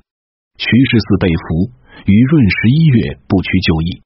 在清军的步步进逼之下，永历帝屡屡后撤，从梧州经浔州。经广西桂平逃至南宁，退入广西的忠贞营处处受到排挤。李锦病死于南宁。高一公与李锦之养子李来亨遂率忠贞营主力北上，辗转返回夔州，与刘体纯、元宗帝等会合，继续进行抗清。永历五年二月，清兵由柳州南下，南宁岌岌可危。人据云贵的大西军余部孙可望派人率劲旅将永历君臣接到贵州安龙千户所，并将安龙改名为安龙府，予以安置。大西军余部是在张献忠牺牲后，由其四大将领孙可望等率领南撤云贵的。在南撤途中，他们做出重大的政策调整：一是停止滥杀无辜的残暴政策；二是改反名为雍敏，联名以抗清。进入云南后，又采取一系列措施，对全滇进行治理和建设，使云南成为联名抗清的后方基地。大西军余部的四大将领中，孙可望年岁稍大，又读书识字，地位和威信也较高，被推为盟主，主持军政重务。眼看全国的抗清形势不断恶化，孙可望等人决定出滇抗清。出兵之前。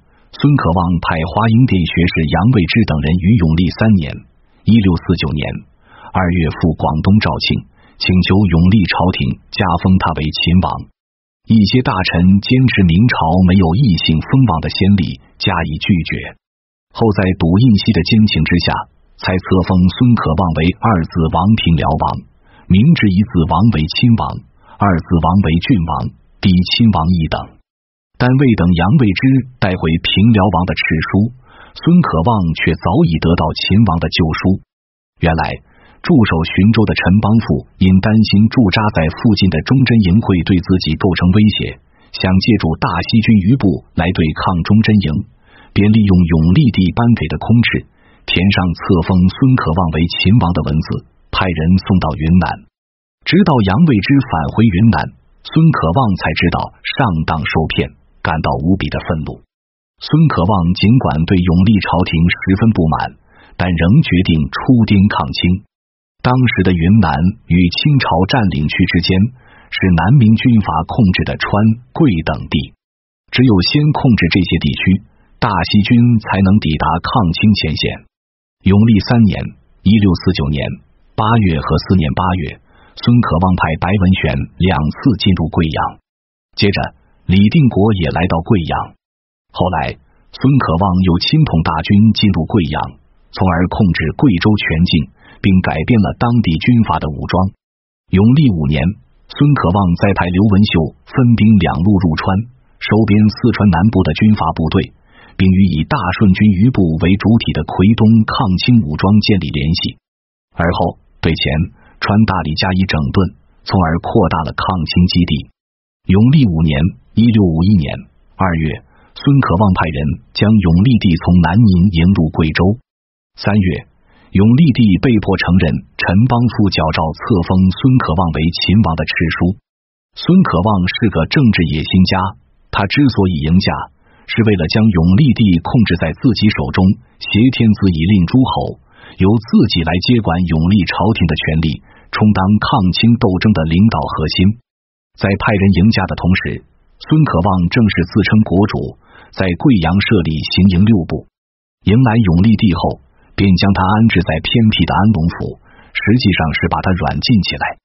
尽管如此，但永历帝正式承认册封孙可望为秦王的敕书和铸币贵州安龙府。毕竟，使永历朝廷实现大换血，为之注入了新的活力。南明的抗清斗争从此进入了一个新的阶段。顺治八年，永历五年（一六五一年）九月。清廷命吴三桂和固山额真李国汉统兵入川。第二年二月，又命孔有德率部从广西杀向贵州。孙可望决定分兵两路展开反攻，一路由刘文秀率领进攻四川。刘文秀率四五万人入川，攻克徐州和重庆，收复四川大部分地区。但由于轻敌麻痹，在保宁（经四川阆中）被吴三桂打败。另一路由李定国率领进攻湘桂，连续收复武冈、靖州（今湖南靖县）、宝庆（今湖南邵阳）等地，并先后在广西泉州和桂林大败孔有德。孔有德畏罪自杀。清廷即令锦亲王倪堪率十万大军来攻李定国，却被李定国设伏击败于衡州。倪堪在衡州城下当场毙命。但是。野心膨胀而又心胸狭窄的孙可望，却害怕李定国功劳过大会威胁到自己的国主地位，密令准备与李定国夹击，攻取衡州的冯双礼退师保庆。李定国在击败倪堪后，只得收兵撤退。接着，孙可望又密谋以召开军事会议之名拘捕李定国。李定国得到密报，于永历七年二月率领部众退回广西。孙可望、刘文秀、李定国等在西南掀起抗清高潮之时，鲁监国、郑成功也在东海沿海坚持抗清活动。鲁监国在绍兴失陷后，由部将张明镇护送渡海到达舟山群岛，后被永胜伯正才接到福建中作所（今福建厦门），再次长远，又重振雄风，后返回浙江，入居舟山。驻兵舟山群岛与温州的三盘，并与宁波府的四名山寨义兵相联络，不仅对清廷在江浙的统治构成重大的威胁，而且牵制了清军的主力，从而为郑成功势力在东南沿海的崛起创造了条件。但至鲁监国六年（顺治八年（一六五一年），舟山城破，他只得在张明镇与监军张煌言的护送下。再次逃往郑成功控制的中佐所，后移至金门。鲁金国七年三月，他主动放弃鲁金国名号，接受永历朝廷节制，与郑成功合作抗清。郑成功起兵后，最初活动于闽南沿海地区，并改奉永历为征朔。永历四年（一六五零年）七月，他登陆厦门，逐步统一郑芝龙的旧部，并继承和发挥郑氏家族的传统。大力发展海上贸易，以所得利润充作抗清的经费。随后，即以厦门、金门为基地，大力扩充军队，并发挥其长于海战、精于奔袭的特长，多次击败清军。清廷以郑芝龙为筹码，多次招抚郑成功。郑成功便借和谈之机，派部将往福州、兴化（今福建莆田）、泉州、漳州等地征粮征饷。将队伍扩充至十几万人，成为东南沿海最大的一支抗清武装。鉴于以往各支抗清队伍各自为雄，易于被清军各个击破的弊端，南明势力秘密策划于永历八年（顺治十一年）（一六五四年）发动两大战役。第一个战役是由李定国策划，经与郑成功联络之后定下的。计划由李定国与郑成功会师，收复广东，进而夺取闽、赣、浙、苏之地。第二个战役是由清朝辖区内隐蔽的富民分子钱谦益钱江后仍秘密从事反清复明活动。姚志卓、朱全谷、贺王胜等人秘密策划，经东西联络后，由孙可望决策形成的计划，由东南沿海的水师进入长江，刘文秀率西南明军主力东下，合击长江流域的清军，收复江南地区。但广东之役因郑成功另有自己的算盘，不肯真心实意同李定国会师。长江之役，又因刘文秀担心孙可望发动宫廷政变，未能挥师入楚，从而错失了良机。自此，明清战局发生逆转，南明再无复兴之望。孙可望的政治野心，随着元大西军余部力量的发展而不断膨胀，秘密策划了一个逼迫永历帝禅让的阴谋。永历帝为了自身和朝廷的安全。急忙密使李定国前来安龙府救驾。孙可望察觉后，下令逮捕永历帝身边的首辅吴真玉等十八人，或凌迟、处斩，或勒令自杀。李定国自广东败回广西后，遂于永历九年（顺治十二年（一六五五年）将永历帝迁至昆明，并派人劝说孙可望摒弃前嫌，共图复兴。但孙可望毫无悔改之意。竟于永历十一年秋，亲率十四万大军向云南发动进攻，兵败之后又逃回贵阳，携妻子至长沙向洪承畴投降。清廷因此尽知云贵内部的虚实，于次年春季分兵三路，从湖广、四川、广西向贵州发动进攻。南明军队顽强抵抗，但仍无法抵挡清军的攻势，主动撤出贵州。永历帝率文武百官撤向滇西，后来在清兵的追击下又逃入缅甸。永历十五年秋，吴三桂率十万大军入缅，逼迫缅甸国王交出永历帝，押回云南。一年四月，将永历帝处死。南明最后一个朝廷至此灭亡。李定国闻讯，大病不起，病逝于云南景县。一代英豪终于机智已没。元大西军余部的抗清斗争至此结束。清军大举进攻西南地区的同时，也在东南沿海地区加紧对郑成功的征剿。郑成功乃于永历十五年（顺治十八年（一六六一年）二月率师渡海东征，收复被荷兰殖民者侵占的我国神圣领土台湾，作为抗清基地，以图再起。康熙三年（一六六四年）。清军攻破奉永历为征说的奎东抗清基地，延续二十年之久的南明抗清势力，因内部的重重矛盾、力量分散、勾心斗角、互相削弱，中被人数不多而又彪悍的满洲贵族勾结汉族官绅、地主各个击破而告灭亡。作为大明王朝余脉的南明朝廷及其遗响，也从中国的历史舞台上消失了。附录。明思宗为何成为亡国之君？一天启七年（一六二七年）八月，明思宗朱由检根据其兄明熹宗朱由校的遗诏入继大统。面对朝政腐败、国库空虚、军事败坏、灾荒频发、内忧外患并生的危局，他锐意求治，在即位诏中宣布：“朕以充人统承宏业，祖功宗德，为之服于典章，立志民间，将求以于通变。”披而中外文武之贤，携于古公耳目之用，光昭旧序，玉茂新游。表示在遵守组织的前提之下，将针对现实的状况，对吏治民间问题实行改革，以求实现光昭旧序，玉茂新游的中心之志。继位后，他一改明神宗、熹宗长期代政的恶习，夜以继日的勤理政务，从不懈怠。也以明神宗的穷奢极欲为戒，崇尚简朴，不尔声色，积极支持引进西方的天文历法和火炮技术，并以潜移默化的手段，一举铲除魏忠贤阉党集团，显露出些许中兴的曙光，赢得了广泛的赞誉。然而，在追求明朝中兴的过程中，他却日渐陷入心于利出的困境，不仅吏治民间，将求异于通变的诺言未能兑现。而且出现了全面深刻的社会危机，朝廷内外的党派之争愈演愈烈，关外之地几乎尽失于清军之手，农民起义的烽火更是烧到了北京城下。自己最终也落个魂断眉山（今北京景山）的下场。一向自视甚高的明思宗，对这场中兴之梦的破灭，始终感到难以理解。他不从自己身上找问题，而是归咎于手下的文臣武将。崇祯八年（一六三五年），明思宗因凤阳皇陵被罚下罪己诏，在罪己的同时，还不忘劫难文武诸臣。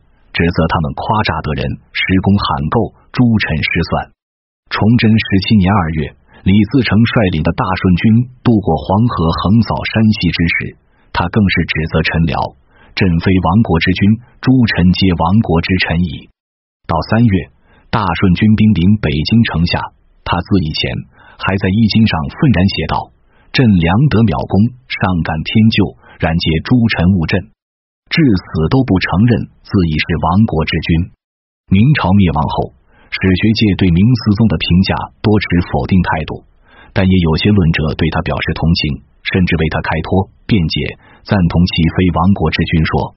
清代官修的《明史》称明之亡，实亡于神宗，并从明清一代为历史必然的宿命论观点出发，说明思宗成神，系之后慨然有为。即位之初，臣机独断，一出奸逆，天下想望之平。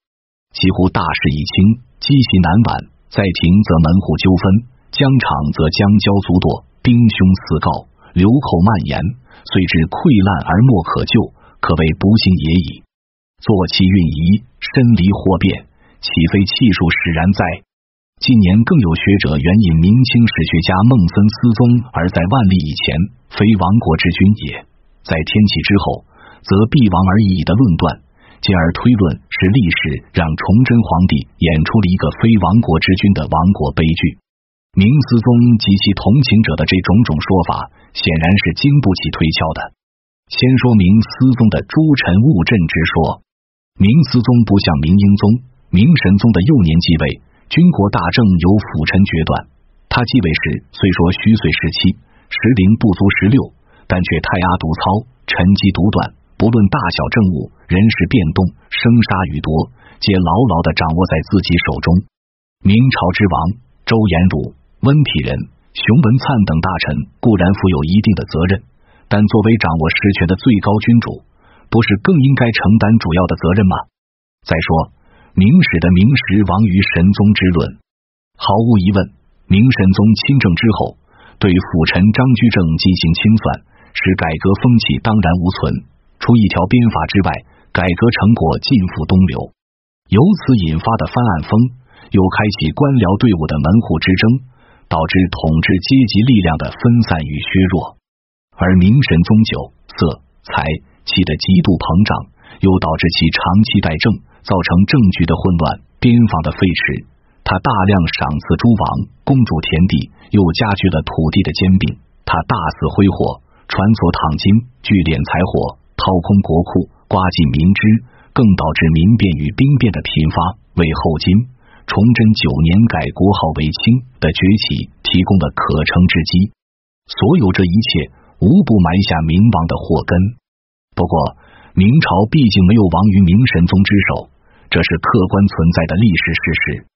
再看孟森的论断，他明确表示，明思宗在天启之后则必亡而已矣，并无否认他是崇祯朝的亡国之君的意思，而说明思宗如在万历以前非亡国之君也，不过是种假设。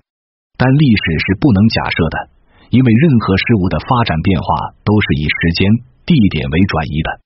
万历以前和天启以后的历史环境、时代诉求大不相同。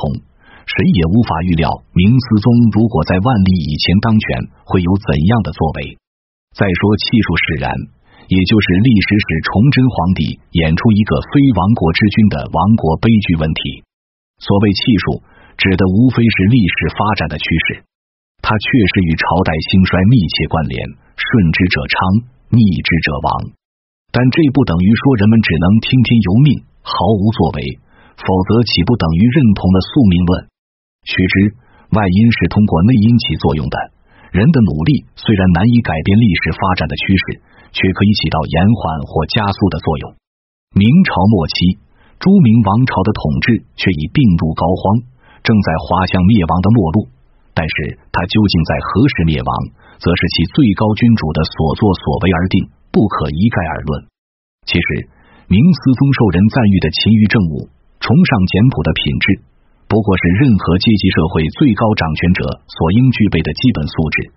但仅仅具备这些基本素质，并不足以治理好国家，更不要说挽救危局了。明思宗在即位之初，虽然诛除了魏忠贤阉党集团而备受好评，但他却有始无终。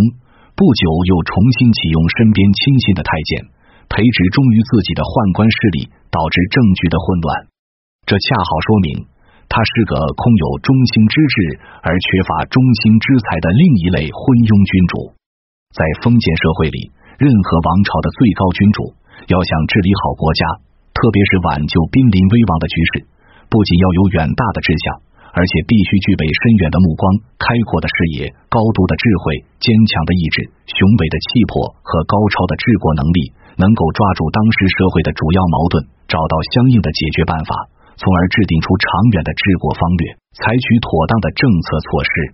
但是，明思宗虽然锐意求治，却缺乏治国理政的才干，没有认识到明末深刻的社会危机的根源所在，找到解救危局的办法。除了在《即位诏》中提出励志民间、将求医于通变这个笼统抽象的治政构想之外，他始终没能提出一个明确具体的治国方略。他的治国理政也就缺乏长远的战略筹划，只能是头痛医头，脚痛医脚，左右摇摆，举棋不定。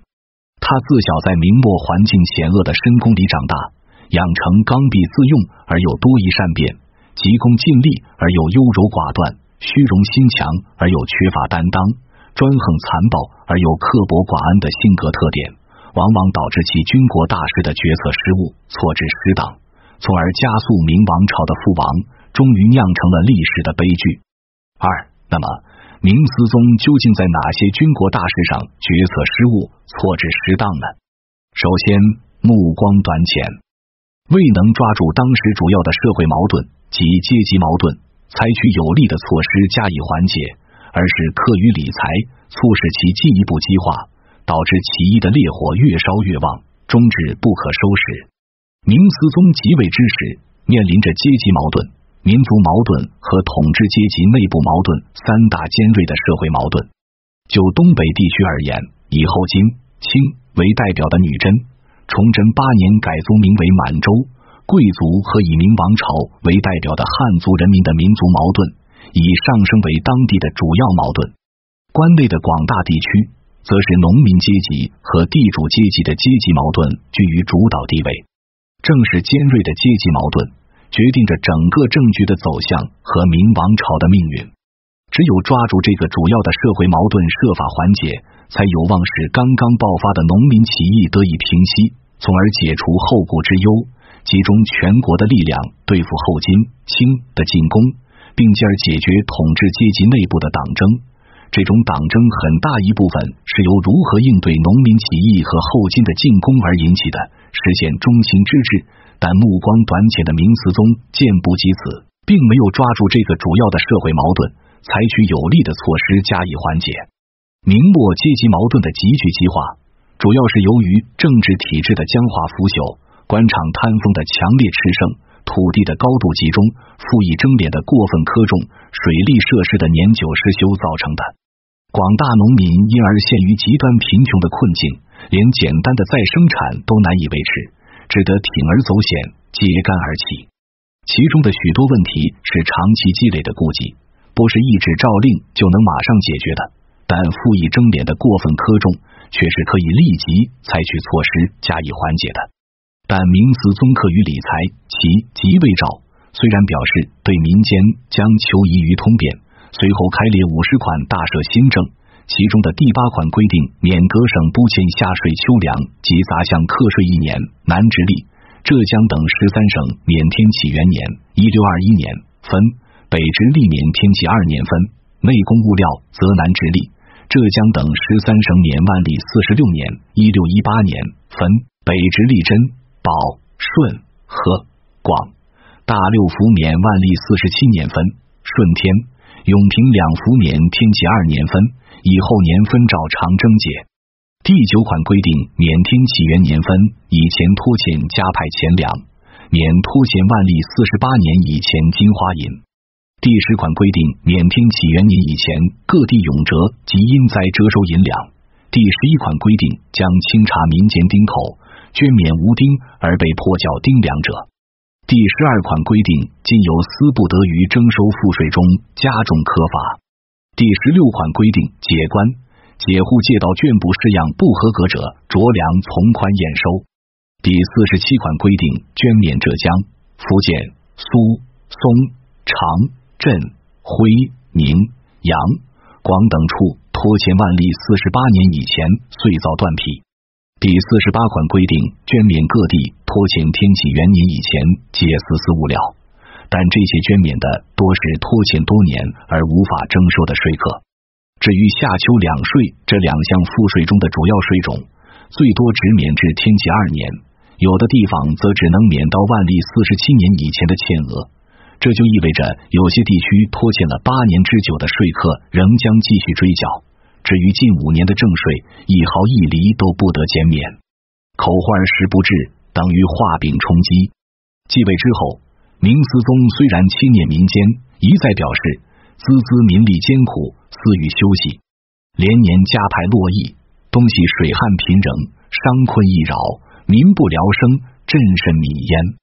但他在位十七年。仅有以下寥寥可数的几次停止织造、捐免不付、禁止私派的举措，即崇祯元年（一六二八年）二月停苏杭织造，四月禁有私私派；九年三月捐山西北栽州县新旧二项；五月免境内五年以前不付；十一月捐山东以前不付；十二年八月免唐县等四十州县去年田租之办；十三年三月免河北三省不付。十五年正月免天下十二年以前不付。与此同时，明思宗又不顾百姓的死活，加重赋税的征派。崇祯三年九月，兵部尚书梁廷栋以兵士不足为由，请求增派田赋。经户部尚书的策划，乃于万历末年每亩加征九厘粮饷的基础上，再加征三厘。从崇祯四年开始征派，计征银六六七九二零八两。加上干年辽饷中增派的杂项、盐课、关税等项银两，该年辽饷总数高达幺零二九九六零二两。崇祯十年，为了镇压日益高涨的农民起义，兵部尚书杨嗣昌建议加派缴饷，母输粮陆河，实折银八钱，商地不语，遂得银百九十二万九千有奇。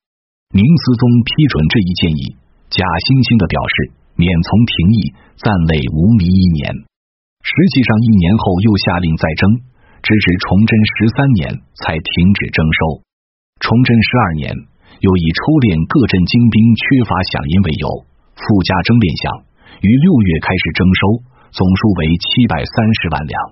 上述辽饷、交饷、练饷三项加派，从田赋中加征的饷银总计多达一六百七十多万两。超过常年岁入的一倍以上，难怪当时的百姓怨声鼎沸，呼崇祯为重征。不仅如此，明思宗还严责各级官吏必须将规定的税额征收上缴，并将征税的数额与职位的升降、俸禄的增减直接挂钩。实在上指明思宗初即位便严于钱粮，不依知府非完钱粮不得升司道，推之非完钱粮不得于考选。于是，松江方郡博越贡、苏州陈郡博弘密有祝奉数十次，降至八十余级者。官员凡是反对加派的，明思宗就感到厌烦，甚至严加惩处。如崇祯十二年（一六三九年）五月，耿直破中的傅宗龙出任兵部尚书，入见皇上，谆谆以民穷财尽为言，云饷不可加，兵不可增。明思宗开始还言不由衷的表示轻言事，傅宗龙指天画地言于利，明思宗便拉下脸来说清淡当料理寇迪尔。待傅宗龙告退后，他又对歌臣说：“宗龙所言，半言官唾于何也？”从此兵部诸书无异语者未及下狱。相反，凡是支持家派重征的，明思宗就感到高兴，甚至大家提拔。如崇祯十一年四月，他在中左门考选诸臣，征询足兵足食之计，知县曾就一说：百姓之困，皆由吏之不廉，使首令拒廉，即稍从家派一级军需，未为不可。明思宗当即拔第一。明思宗一而再、再而三的加派，使本已十分贫困的广大农民进一步陷于破产，大批逃亡。官府又穷凶极恶的追讨钱粮，甚至勒逼未逃的农户赔纳已逃农户应交的钱粮，逼使更多的农户逃亡。想家而田日荒，征集而民日少，弃田逃亡的现象与日俱增。如河南张德府的武安，今属河北省。据知县窦维禄在崇祯十四年的奏书报告，本县原兵户口一万三十五户，经死绝者八千二十八户，原兵人丁二万三百二十五丁，今逃死者一万八千四百五十丁。加上政治腐败，水利年久失修，自崇祯十二年起，连续三年不断发生雨雹、旱黄等自然灾害，贫苦农民无以为生，转死沟壑。中州平原更是赤地千里，流亡满道，思故营也。阴风残骨林之清，笑拒服林莽之虑。且有河门投环者，有全村泥门逃者，有一日而逆河数百者，有实验室、参食者，有食精子、吉礼者，有食土食者，有如鬼行而呻吟者，有将扑于道而不能言者，有集数千数百人于成于周道而皆干者。明思宗之所以一再实行加派，借口是倘不愧处，国库空虚，无法支付日益增加的军费。当时国库固然匮乏，但内府及皇帝的私库并不缺钱。明朝初年，米、麦等食物的征收在国家的财政收入中占据主导地位。户部所设的内府食库，既是中央政府的国库。也是皇帝的私库，公私不分，混同开支。进入明中期后，随着商品经济的发展，白银的货币化，大量实物形式的财政收入转化为货币收入。明廷于是对财政体制做出相应的调整。于正统七年（因四百四十二年），在北京设立太仓库，用以铸银。弘治八年（因四百九十五年），又在南京户部设立银库。此外，还有京通两仓贮存由运河漕运来的米粟，以供京城贵族、百官和京边卫军之使用。太仓银库设立后，变成为中央政府的国库，而内府则完全变成皇帝的私库。政府的财政收支与皇室财政收支基本分开。嘉靖中期以后，由于土木繁兴，加以南倭北虏交相进犯，军费开支急剧增长。太仓入不敷出，到隆庆初年曾出现财政危机，但一代兵士停息，在经过张居正的改革，危机便得到了缓解。到万历四年，经通楚肃族之八年，府库充溢，太仆寺役基金四百余万。明神宗亲政后，不停的传所躺金，加上宗禄的大量增加，万里三大征庞大的军费开支。国家财政入不敷出，只得动用累年的储积，弄得国库空空如洗。但是明神宗通过传所躺金，加上派遣矿监税使四处搜刮，却使内躺之充任达到亘古未有的程度，内府金银山积。明神宗死后，明光宗在位仅一个多月，明熹宗在位也仅七年，短短几年时间，内府的储蓄并没有花光。但明思宗也同明神宗一样视财如命，就是不肯往外拿，有时还对群臣大叹穷经，说木金躺藏空虚。后来李自成大顺军入京，内库银尚存三千余万两，仅一百五十万。另有记载说，内堂所出不知几千百万。明思宗死死捂住的这一大笔金银财宝，最终都成了大顺军的战利品。明思宗的课余理财竭泽而渔，只能进一步激化阶级矛盾，为农民起义提供更为深厚的社会基础。三想的加派更是直接促成起义高潮的到来。崇祯十年一六百三十七三月，杨嗣昌到京就任兵部尚书，提出四正六余十面张网之策，并在加派辽饷之外再加派剿饷，加强对农民军的征剿，将大部分起义军绞杀殆尽，迫使张献忠与罗汝才受俘。李自成被迫率领残部退入陕鄂川交界的商洛山中，隔左武营也遁入阴火山中，起义暂时进入了低潮。但是。辽饷与剿饷的加派，自然灾害的频发，把百姓逼入了更加痛苦的深渊。加上杨嗣昌密谋对张献忠发动突然袭击，张献忠遂于崇祯十二年五月在古城重举一起，明廷又于当年加派练饷，更把广大贫苦农民推向绝路。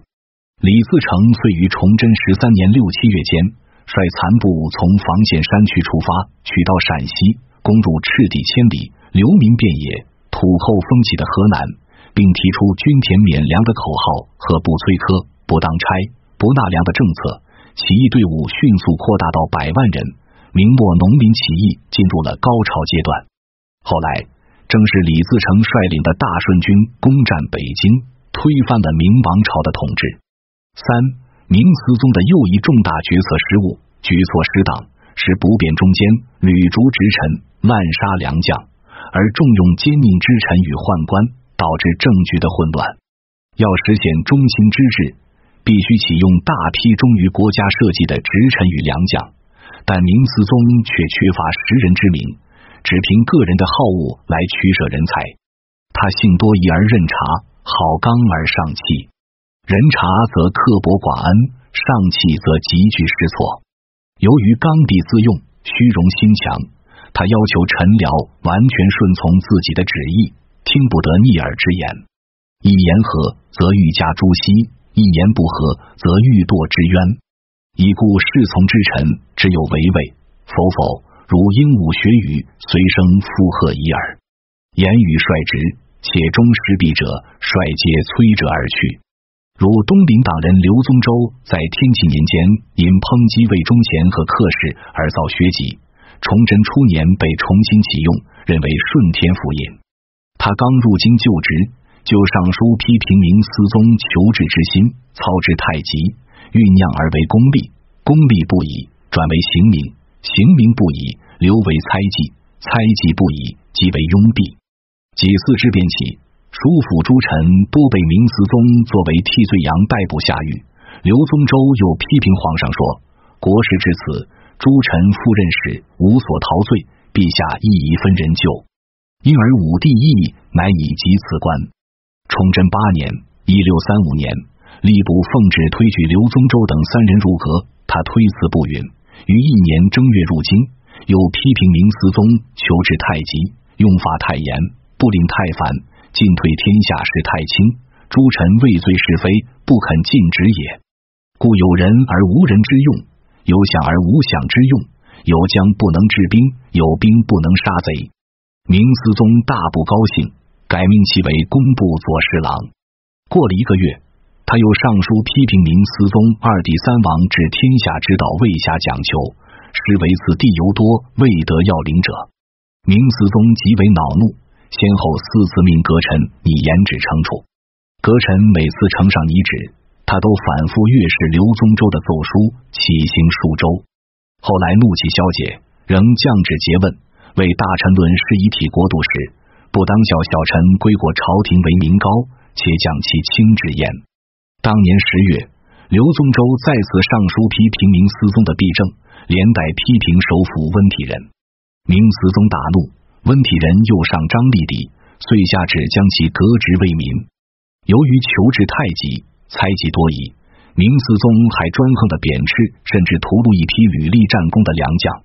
袁崇焕在天启年间镇守辽东，着力构筑宁锦防线，并取得了宁远大捷，只因不肯巴结魏忠贤，遭其党羽的弹劾而辞官。明思宗继位后，重新启用他为冀、辽、登、来天津总督。在明思宗召见时，他轻率的许下五年复辽的诺言。经兵科给事中许玉清的提醒，他又提出五年内户部转军饷，工部给器械，吏部用人，兵部调兵选将，许中外事事相应，方可有计。明思宗一一允准。两天后，他又上书说明辽史恢复之际，不外陈昔年以辽人守辽土，以辽土养辽人，以守为正者，战为奇者，款为旁者。法在简不在胄，在实不在虚。此皆臣语在边文武诸臣所能为而无凡生虑者。指用人之人与为人用之人，居于皇上思其要。明思宗批示说：“福延镇自有鉴别，切勿沾顾，领战守机宜，悉听便宜从事。”袁崇焕随即复官就职，着手调整关内外防务，修补明蒙联盟。接着。依据西听便宜从事的谕旨，诛杀不听节制的东江守将毛文龙，以统一实权；以四支便起，绕到内蒙古入塞的皇太极兵临京师。袁崇焕即率辽军秦王，副总兵周文玉劝阻他：外镇之兵未奉明旨而进至城下，可否？他回答说：君父有疾，何妨他叙？苟得济事，虽死无憾。周延儒、温体仁等辅臣勾结阉党余孽，合力诬陷袁崇焕引敌协和，将为城下之盟。皇太极又借被俘的杨太监行反间计，对袁崇焕未经奏请而朱毛文龙，率领辽军入援京师，心存疑虑的明思宗，竟下令将其斩于西市。自崇焕死，边事已无人，明王争绝矣。早在崇祯两年。一六二九年十一月，河南府推官唐开元就批评说：“明思宗临狱以来，明法持法，自小臣以至大臣，与众推举或自简拔，王论为故为物，据尺多数配不少代，甚则下狱考追，几乎行乱国用重典矣。事实正是如此。据统计，明思宗在位十七年，记诸总督七人，巡抚被录者十有一人。”河南巡抚李先锋被逮自缢，尚不计在内。就连贵极人臣的内阁辅臣也有两人被杀，辅臣戮死。自是庙下延后，死在建云。由于不断的罢黜和诛杀，官员的更替十分频繁，如蓟镇总督半载更五人。整个崇祯朝十七年，以中书、兵部尚书十四人，刑部议尚书十七人。内阁辅臣更是走马灯似的不断变换，十七年间任命的大学士多达五十余人，其中先后充当首辅者即达十余人。这种做法不仅使朝廷失去许多能干的文臣武将，也使在职的官员胆战心惊、畏缩不前，丧失进取心和积极性，办事效率极度低下。对于自己喜欢、信任的官员，明思宗则百般呵护。甚至有罪不罚或者轻罚。崇祯九年（一六三六年）秋，清兵再度绕到内蒙古，突入长城，侵扰京畿。兵部尚书张凤义自请督师，御敌无方，畏罪日服大黄药。清兵退后于九月初一日死去。明思宗顾廷臣无可任用者，启用在家守丧的杨嗣昌为兵部尚书。嗣昌通缉后，击碎邻居。博涉文集，多是先朝故事，工笔札，有口辩。一年三月抵京，帝与语，大信爱之。张凤以作风柔靡，兵士无所趋化。杨嗣昌锐意振刷，帝亦以为能。明思宗每次召见，都同他深谈一时，凡有奏请，无不应许，说恨用轻慢。杨嗣昌于是提出征剿农民军的四正六余十面张网的建策。推举熊文灿具体负责执行这个战略计划，并建议加派剿饷，以便增加围剿的兵力。明思宗一一照准。杨嗣昌立下军令状，以崇祯十年十二月至明年二月为灭贼之期。到崇祯十一年三月，因未能完成灭贼的许诺，他只得上书引罪。明思宗不许，命查行间公罪。杨嗣昌于是借机为过于洪承畴、曹变交、朱大典、左光先、祖大弼，史可法诸将来为自己开脱。六月，明思宗改命杨嗣昌为礼部尚书兼东阁大学士入阁，仍掌兵部事。当年九月，清兵再度进逼京师，先后攻陷七十余城，明思宗没有惩罚既为阁臣又掌兵事的杨嗣昌，反而令其一文武大臣失事之罪，从巡抚、总兵官至州县官共三十六人同日起事。言官分起弹劾杨嗣昌，一时舆论大哗。明思宗只得令其落职官代世事，玄又续公复其官。崇祯十四年三月，农民起义军横扫大河上下，福王、襄王相继被杀，杨嗣昌畏罪自杀。许多大臣上书弹劾，要求追究其罪责。明思宗训斥说：“杨嗣昌系朕特谏，用兵不效，朕自裁谏，况上有才可取。不仅未追究杨嗣昌的罪责。”反而赠其为太子太保。一些奸佞之臣看准明思宗的性格特点，便千方百计讨其欢心，博取高官厚禄。礼部又是郎州颜汝，性警敏，善思遗旨。崇祯元年（一六二八年）冬，锦州守军因缺饷哗变，都师袁崇焕请给饷。明思宗召问诸大臣，皆请发内堂。明思宗视财如命。舍不得从皇家库藏中往外掏钱，并且怀疑有边疆故意煽动边兵哗变相要挟。周延儒摸透皇上心思，发表与众不同的意见：关门西防敌，今且防兵。宁远华、想之、锦州华、傅想之各边且效尤，认为想虽然不得不发，但当求经久之策。明思宗连连点头。降旨切责众大臣。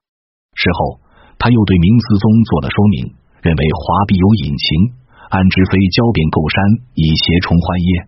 这话切中明思宗的心意。明思宗由此主意严儒。当时吏部会推内阁辅臣，但列出的候选名单有东林党人、礼部侍郎钱谦益，却没有周延儒的名字。一心想挤进内阁的周延儒，即暗中散布流言。称此番没补，借前千亿党把持。明思宗遂入其说，也想挤进内阁的礼部尚书温体仁，为人外取简而终猛志，跻身刺骨。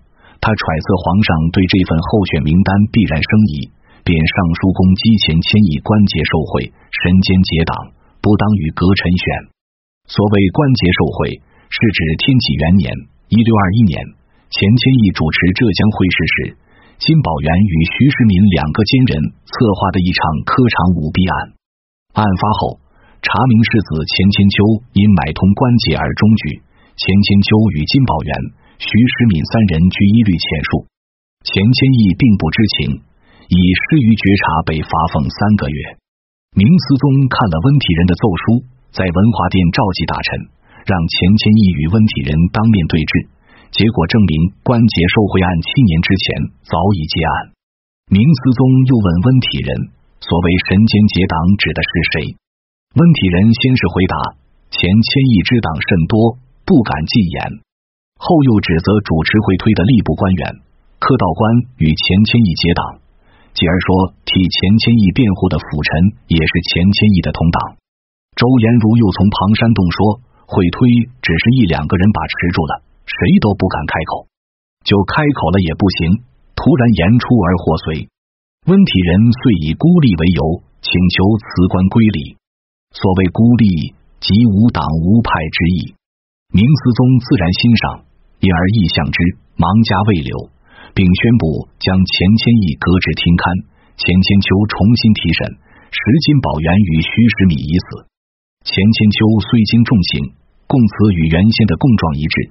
证明温体仁诬告不实，但明思宗还是将钱谦益夺官衔住，并于崇祯二年十二月和三年六月将周延儒、温体仁先后擢为大学士，入阁辅政。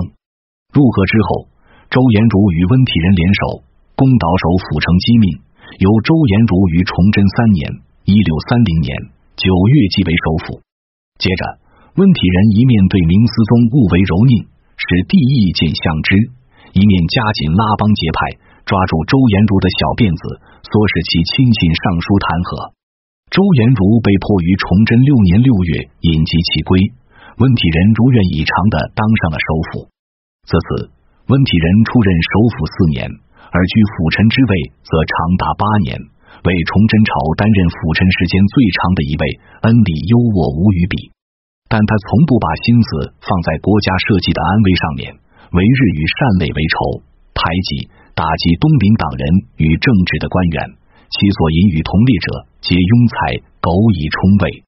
内阁辅臣中受到他信任的，只有碌碌无为的吴宗达和刚愎自用的王英雄。诗人讽之曰：“内阁翻成妓馆乌龟，指乌城籍的贵安人温体人王八，指四川巴县人王英雄灭片，指无所作为的吴宗达总是遭瘟。京师还有民谣唱道：崇祯皇帝遭瘟，瘟啦。”由于明思宗性多疑而任察，好刚而上气，伪正兵者非庸即佞，言语杠直，切重势力者屡皆摧折而去，觉得无人可用，于是又转而重用身边的家奴、宫中的宦官。在他心目中，宦官依附于皇权而存在，与自己朝夕相处，比文武百官可靠。他们的命运都掌握在自己手里，如不服管束，一纸圣旨即可加以清除。正如诗人谭谦所说：“明思宗职位三尺，法律在我，此曹议何能为？”即位之初，在清除魏忠贤的阉党集团时，明思宗曾下令禁撤各地的镇守太监，说宦官官兵古来有戒。仅过半年，就来个一百八十度的大转弯，重新赋予宦官监军之大权。崇祯元年（一六二八年）五月。他即以司礼监管文书内官监右少监送上至提督正阳等九门、永定等七门及皇城等四门巡城点军。第二年冬，后金军队再次南下，京师戒严，遣前清宫太监王英朝监视行营，以司礼太监沈良佐、内官太监吕直、提督九门及皇城门，司礼太监李凤祥总督中永营、提督经营。崇祯四年九月。明思宗更是大规模启用宦官，命太监张义宪总理户，供二部钱粮；唐文征提督经营荣政，王坤往宣府，刘文忠往大同，刘文忠往山西，各监视兵饷。十月，又命太监监军王英朝往关宁，张国元往蓟镇东协，王之新中协，少西赵西协。十一月，以太监李其茂监视陕西茶马。无职监视登岛兵饷。后来，由于文武大臣的一再劝谏，明思宗只好在崇祯八年八月下诏，撤回总理户，供二部钱粮及监视各道的太监。但仅隔一年，又再次大规模启用宦官，不仅赋予监军之权，有的还授予总督分守之职，直接指挥军队。崇祯十三年三月，再次撤回各镇宦官。仅隔半年，又再度派遣宦官监制各镇，直至明亡为止。明思宗派出的这些宦官，多为市井庸愚，妄自尊大，又根本不懂军事。他们一旦大权在握，多顷刻军资，临敌折拥，精兵先遁，诸将耻为之下，元氏皆无功。不仅如此，宦官的派出还侵犯了文官武将的职权，严重挫伤他们的积极性。加剧统治阶级内部的矛盾，成为加速明朝灭亡的一副催化剂。四，明思宗的另一重大决策失误，错置失党，是不辨是非，亲自介入门户之争，致使党争不断，分散削弱了统治阶级自身的力量。明思宗继位之初，想从魏忠贤阉党集团手里夺回朝政大权，依靠的是与阉党没有瓜葛的政治官员。特别是与阉党对立的东林党人，在处死了魏忠贤之后，崇祯元年（一六二八年）的上半年，正是在内阁大学士刘洪勋的帮助下，杨维元、李恒茂、杨所修、田景新、孙知谢、徐少吉、张乐、李藩、贾继春、霍维华等阉党骨干先后被斥，人情大快。当年三月。新任南京兵部武选司主识别如轮上书，请求重新审定阉党炮制的三朝要点。四月，翰林院侍讲倪元禄更上书请求销毁三朝要点。明思宗批准了这个请求，为清查阉党集团扫清了一大障碍。而后，东林党人韩况和李彪钱隆基等内阁辅臣及刑部尚书乔允生等人拟出钦定议案的名单，由明思宗于崇祯二年三月正式颁布，给予阉党集团以沉重打击。与此同时，一大批遭到阉党迫害的东林党人得到平反昭雪，重新受到任用。阉党与东林党两派的力量对比发生了根本变化，东林党的力量远远超过阉党。并于崇祯元年十二月组成以韩况为首的东林内阁。崇祯两年（一六二九年）三月，明思宗颁布钦定议案后，即在一道谕旨中表示分门别户，以非之争，要求臣僚停止门户之争，化义为同，天下为公，团结一致，共同致力于中兴之治。钦定议案颁布后十天。护科给侍中解学龙尚书弹劾蓟镇巡抚王英志客相激辩，书中有王英志系未当私人之语。明思宗非常反感，当即训斥说：“英志客相阅兵，罪在不赦，何必又引为党所思？”不过，钦定议案并未将阉党集团一网打尽，有的阉党分子仍然逍遥法外，有的甚至还在官府继续任职。如右庶子杨世芳就是一个阉党分子，他是韩况的姻亲，得其庇护而未遭清算。还有素福当、裘东林的吏部尚书王永光，以及御史曹思成、袁洪勋、史范土、高杰等，也都是漏网的阉党分子。被列明议案的阉党分子不甘心自己的失败，未被列明议案的漏网阉党更是力求保住自己的官职。他们都力图掀翻议案，吃尽阉党迫害之苦的东林党人，自然是希望继续清查阉党余孽。这显然不是一道谕旨就能禁止的。但明思宗见不及此，未能抓住引发党争的症结，正确的加以引导和解决，反而因自己的猜忌多疑、刚愎自用，亲自介入门户之争，不辨是非，不别贤否，支持并重用奸佞之徒。为党争的再起起到推波助澜的作用。崇祯元年（一六二八年）十一月，因会推阁臣引起一场纷争，明思宗不仅亲自介入，而且站在周延儒、温体仁一边，将东林党人钱谦日益夺官显著。不久，又江州温卓为大学士，入阁辅政。周延儒早年燕礼居士，颇从东林游，既献钱谦意，遂酬东林。温体仁是毛文超龙的同乡，嫌浣纱文龙，每私有以报之。袁崇焕下狱前后，他前后五书力请杀浣。后来袁崇焕被冤杀，他还得意的致书其弟曰：“崇焕之秦，无秘书实起其端。”袁崇焕不是东林党，但同东林党入关系密切。他的做主是东林领袖之一韩况。他本人是由东林党人侯寻举荐而被擢升为兵部直方司主事，又由东林党人孙承宗的支持而驻守宁远，被东林党视为抵御后金之长城。温体仁当日急谋入相，所及韩况、乾隆杨二辅臣，自然也就深恨东林党人。阉党分子在钦定逆案颁布后，不敢公开跳出来为逆案翻案，便纷纷投靠周、温等奸佞之臣。两者同气相求，一拍即合，随即携手合作，形成新的邪恶集团，共同打击东林党人。温体仁、周延儒与王永先等人经过密谋策划，首先把矛头指向东林党的重要人物——内阁大学士钱龙阳。钱龙阳曾与韩况、李彪等共同主持钦定议案的工作，议案之定，办为龙阳主持，兼党贤之次故。崇祯两年（一六二九年），东元崇焕下狱后，温体仁决计接崇焕一计去韩况、乾隆阳二人。他在密书中攻击袁崇焕因与华亭府、乾隆畅临议罪书，兵部尚书王洽密谋款敌，遂引之长驱，以挟城下之盟。王永光等谋因崇焕兴大狱，可进清东林。他唆使高杰上张纸通款。杀将为龙阳罪，史范普又书言：龙阳出都，以重焕所必重会数万，转寄殷家，巧为营干，指国法不深。明思宗遂于崇祯三年十二月将乾隆阳摆下诏狱，后遣数定海卫。同年正月，内阁首辅韩况因遭阉党分子员暴起的弹劾而三书辞职。三月，阁臣李彪也五书起修。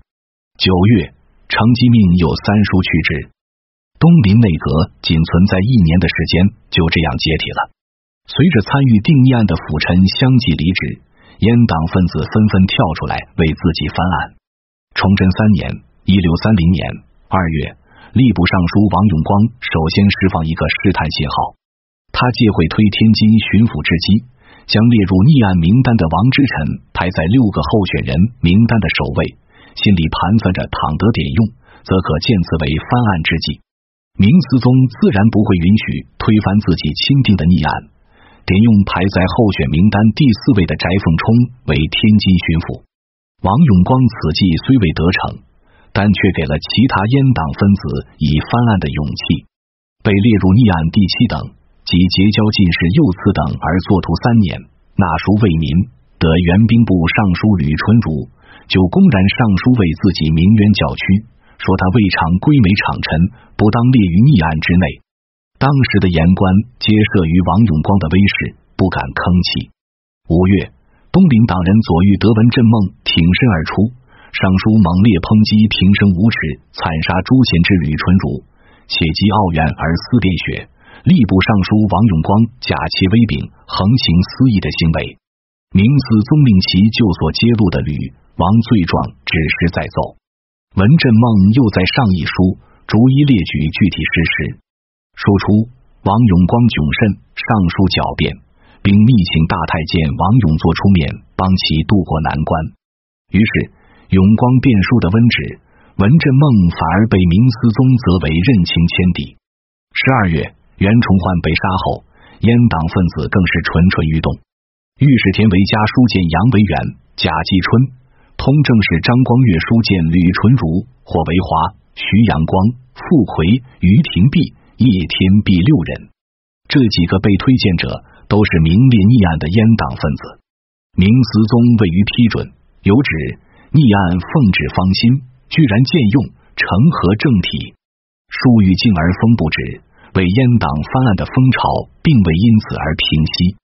温体仁入阁辅政的第二年，吏部尚书王永光因其党羽纳贿事发，遭言官弹劾而罢去。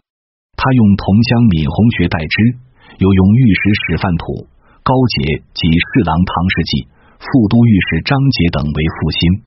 在扳倒周延儒而代为首辅之后，温体仁继续攻击东林，重翻逆案。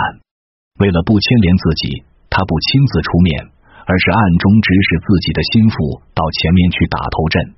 先是在崇祯七年（一六三四年）八月，因吏部尚书、左都御史缺人，明思宗召集群臣会推使张杰按温体仁的授意独举吕纯如、唐世纪。明思宗问吕纯如是亲案有名的，张杰如何举他？他回答说：“吕纯如有才有品，臣所深知。”在场的给事中，御史纷纷加以批驳。节气举体人不敢言，仍尽谢生。唐世纪为之。接着，在崇祯九年，唐世纪又以边采举荐列明逆案的原兵部尚书霍维华，明思宗为逆案盖部举用，事迹欺蒙，削及下刑部。维华之见，一体人主之也。体人自是不敢送言用逆案，而与侧目诸不负己者。在明朝后期的门户之争中，江南地区出现了由众多社团联合组成的复社。复社继承东林党的政治主张，其领袖张溥公开声明，无以四东林也。官府中同东林党有瓜葛的官员，一般都支持复社；与阉党有瓜葛的官员，一般都与复社作对。温体仁也极力打击复社。崇祯六年（一六三三年）。温体仁之弟温玉仁要求参加复社遭拒，便雇人撰写《绿牡丹传奇》，在浙江各地演出，用以影射张溥等复社名士。崇祯十年，温体仁还暗中募人合谱。他的同乡陆文生因请求入社遭到拒绝，意却上书，即言风俗之弊，即源于世子、溥、张、采为主盟，倡复社，乱天下。温体仁即命南直隶提学御史倪元拱查核，但倪元拱及兵北参议冯元阳、太仓知州周仲廉皆严复赦无可罪，结果三人都遭到温体仁的贬斥。闽人周之奎曾任苏州推官，做事霸趣，他怀疑为张普捣鬼。听说陆文生弹劾张普，也扶阙舒和普等把持祭典及复设资衡状。但京军府张国维查核，严之奎去官，无遇普事，亦被行翘让。当年六月，温体仁致仕，继任首辅的张志发、薛国官执行没有温体仁的温体仁路线，此案仍迟迟未能了结。复社人士从这一系列事件中逐渐认识到，朝中大臣，特别是担任首辅的大学士，如果不支持复社，复社孤立无助，必定难有作为。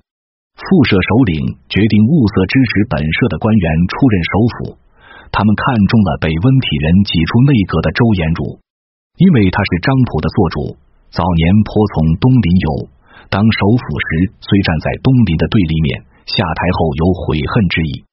张普便出面找周延儒谈判，约定公若在相，以前者可重的贤生。周延儒以为然，张普于是联络吏部侍郎吴昌时。侯恂等人积极展开活动，并筹资重会司礼太监。崇祯十四年（一六四一年）二月，明思宗终于发出其复周延儒的诏书。延儒被诏，仆等以数事要之。延儒慨然曰：“吾当锐意行之，以谢诸公。”周延儒入朝后，悉繁体人被逼政，首请是曹良、白良遣户。捐民间疾布，凡兵残碎荒地，减建年两税。苏、松、长、嘉、胡诸府大水，须以明年下麦代曹粮。有数罪以下，皆得还家。复挂物举人，广取士额及赵还严氏、迁者诸臣李清等，帝皆欣然从之。他启用了一些东林党人士或其他政治之士，如郑三郡、刘宗周、倪元禄。黄道周等，但严如使庸奴无才略，且性贪，对清军的步步紧逼和农民起义军的蓬勃发展，仍然一无所谋划。到崇祯十六年四月被罢官，不久其门生兵部左侍郎兼右迁都御史，兼任蓟辽茂通等处总督的范之完懦弱怯战，纵兵掳掠，克扣军饷，贪污行贿。其亲信吴昌时窃权附势，那会行私遭到弹劾。周延儒受到牵连，终被明思宗勒令自尽。明王朝的政治不仅毫无起色，反而在明思宗亲自借人的门户之争中进一步分散，削弱统治阶级自身的力量，加快了灭亡的步伐。五，明思宗的在一个重大决策失误，错置失当，是极好虚荣。缺乏担当精神，患得患失，屡屡错失延缓败亡的时机。这突出的表现在两件事情上：一是陈兴贾谊和泄密被杀；二是南迁之意久拖未决。先说陈兴贾谊和泄密被杀事件。后金、清自宁锦之战失败后，一时难以突破明朝的宁锦防线，改从内蒙古迂回入塞，先后四次侵扰明朝内地，大肆烧杀掳掠。劫夺大量财物和人口，既用以充实自己，也消耗明朝的有生力量，为突破宁锦防线创造条件。接着，便屯兵益州，逐步向锦州推进。于崇祯十四年（一六四一年）三月，包围了锦州。明廷即命蓟辽总督洪承畴率领十三万大军驰援锦州。洪承畴主张避守而兼战。即一边防守一边进攻，稳扎稳打，逐步推进。起初兵部同意这个计划，明思宗也予以肯定。但当农民起义由暂时的低潮重新走向高潮，明思宗又希望尽快结束辽西的战争，以便集中兵力对付农民军。兵部尚书陈兴甲于是提出四路进兵，合击围攻锦州清军的方案。明思宗立救洪承畴克其进兵，洪承畴只得将粮饷留在宁远。杏山与塔山西北的笔架山，自率六万大军于七月底挺进塔山。皇太极西所沈中人丁倾国而出，并亲至嵩山督战。明军先胜后败，洪承畴被困于嵩山，总兵祖大寿被围于锦州，屡次突围而不得出。陈新甲与清议和就是在这个背景下进行的。为了挽救被围的洪承畴与祖大寿，陈新甲主政的兵部在崇祯十四年（一六四一年）十月提出了息兵之策。十一月，辽东大雪，大陆粮储俱尽，将解围而归，属我军灭之。比西鲁、漠南蒙古入关求和。当时在宁远的宁前道副使石凤台获悉清军有意议和，致书清军将领询问此事是否属实。得到此吴国素之也的答复，即上报辽东巡抚叶廷贵。叶廷贵又上奏朝廷，明思宗内心同意议和，但他虚荣心强，过去曾多次拒绝与清议和，现今大败后主动求和，觉得有失面子，斥责叶廷贵是慢人到臣辱国妄举，将石凤台逮捕下狱。到年底，李自成农民军既未开封。农民起义的烈火已燃遍中原大地，清军更是将嵩山围得水泄不通。内阁大学士谢生便与内阁同僚商量，决定由陈新甲奏请与清和议。崇祯十五年正月初一日，明思宗诏对时，陈新甲婉转的提出：松、锦两城久困，兵不足援，非用剑不可。明思宗明白他用剑一词的真正含义，爽快的回答说。成为且半载，一号不达，何间之成？可款则款，不妨便宜行事。陈新甲随即推荐兵士赞化主事马绍瑜作为议和使节，明思宗给予允准，加少于职方郎中，赐二品符。但是他还是觉得战败求和有失中原天子的颜面，因此特地御新假密图之，要求绝对保密。马绍瑜于是衔命出关。前往宁远与清方接洽，清方请以敕书为信。明思宗仍大摆中原大国对待边疆属夷的架子，以一纸御兵部陈新甲的敕谕代之。皇太极极为不满，也以敕谕英俊王阿济格等人的形式要求更换敕书。马绍瑜只得奏报朝廷，耽误了很多时间。在这期间，嵩山、锦州、塔山。杏山已先后被清军攻陷，洪承畴被俘，祖大寿降清。明思宗得到奏报，仍以敕谕兵部尚书陈新甲的形式准其便宜行事，并差兵部司务诸暨机事，同马绍瑜前往沈阳与清方谈判。皇太极提出的议和条件是：每岁贵国馈黄金万两，白金百万两；我国馈人参千斤，貂皮千张。以宁远双树堡中间土岭为贵国界，以塔山为我国界，连山适中之地，两国于此互市，并曰九月不至，则治兵。马绍瑜返回宁远，立即派人向陈新甲禀报和谈的结果，但此前合议的消息却被谢生无意间泄露，引起言官的慷慨陈词。堂堂天朝，何至讲款？明思宗只得将谢生革职，以平息舆论。不料陈新甲收到马绍瑜禀报议和结果的密书，月后置于几案之上，急去上朝。打扫书房的仆人误以为是粪堂报告，交堂报官抄传，一时舆论大哗，言官交章弹劾。与清议和原是遵照明思宗可款则款的谕旨推行的。谈判使节也是由他加官赐福任命的。如果明思宗勇于担当责任，以君主之尊站出来说明议和的理由，舆论不难平息。但他却患得患失，只顾自己的颜面，下言旨切责陈新甲，令其自陈其过。陈新甲不服，上书自辩。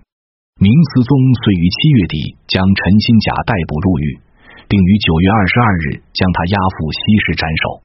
议和失败后，皇太极又降宁远总兵吴三桂未成，即于当年十月下令第五次入侵明朝腹地。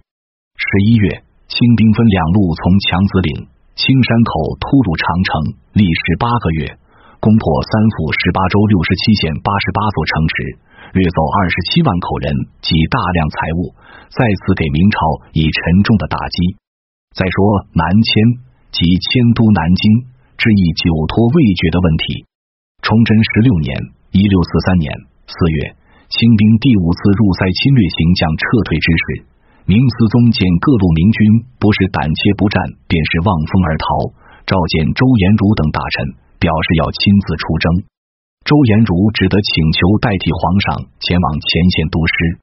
临出东门之前，明思宗以内外交困。曾同他意南迁，命无谢。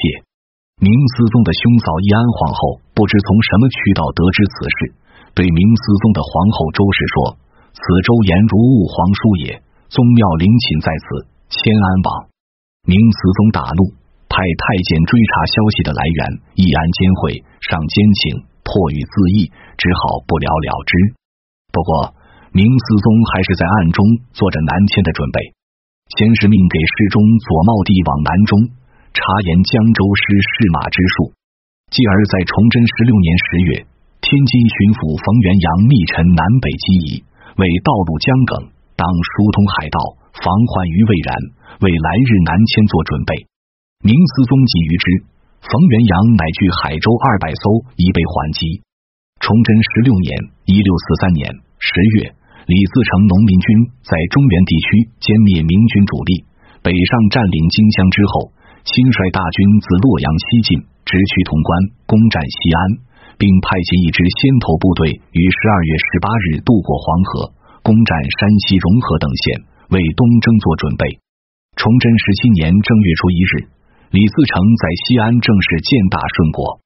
初三日。忧心忡忡的明思宗在德政殿召见左允中李明瑞，征询御寇之策。李明瑞提出，唯有南迁，可缓目前之急，徐图征剿之功。明思宗说：“此事重大，未可一言，亦未知天意若何。”李明瑞答道：“上内断圣心，外度时事，不可一刻迟延。若住世道旁，后悔何及？”明思宗四顾无人，曰。朕有此之久矣，无人赞襄，故持至今。汝意与朕和，朕之决矣。诸臣不从奈何？而且密之。接着，他同李明瑞具体商议了南迁的路线，护卫想迎合留守诸事。在当时形势下，南迁不失为一个可行的选择。当初明太祖召见明王朝，就把南京定为全国的首都。后来明成祖迁都北京。南京仍然保留着陪都的政治地位，保存着一套形式上与北京相同的中央机构，只是任职的官员多为虚衔。此时，长江中游驻扎着左良玉号称数十万的军队，下游又有江北四镇的重兵把守，南京要比北京安全的多。南京所在的江南地区，又是当时全国经济最为发达。人口最为密集的财富之区，遭受战争的破坏也较小。如果退守南方，即使丢掉了北方，也可划江而治，凭借南方充裕的人力、物力和财力与北方抗衡，最后鹿死谁手还难以预料。但是，将政治中心都城南迁，涉及放弃宗庙陵寝的敏感问题。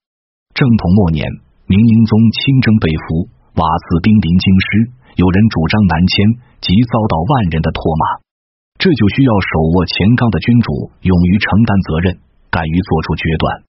明思宗刚愎自用，却又优柔寡断，死要面子，却又怕担责任。虽对李明瑞表示政治决矣，却耻于亲自决策南迁，想待群臣力劝而后行之。此事便暂时搁置下来。形势瞬息万变，时间不等人。崇祯十七年。一六四四年正月初八日，李自成亲率大顺军主力由西安出发，开始向北京进军。京城内外惶恐不安的气氛越发浓重。左都御史李邦华为李明瑞同乡，也是李明瑞出任左允中的举荐人之一。他支持李明瑞的南迁主张，曾私下问过李明瑞，上亲行于东宫书便。李明瑞回答：东宫年少。禀命则不威，专命则不敬，不如上亲行为便。李邦华担心南迁之意为朝论所阻，就提出由太子朱子朗南下南京监国，作为一种过渡。举书请下明诏，用成祖朝仁宗皇帝监国故事，即遣皇太子监国南京。月数日，又请命定，永二王分封江南，以状藩汉。正月十八日，明思宗密谕首辅陈演，献陈言事。陈言反对南迁，将消息向外透露，从而引起群臣的议论。李明瑞于是公开上书，阐明自己的主张：今日所罪己者，无如亲征，夫亲征之举，不必皇上自为之也。南京有史可法。刘孔昭，此皆忠良小畅军务，可记大事。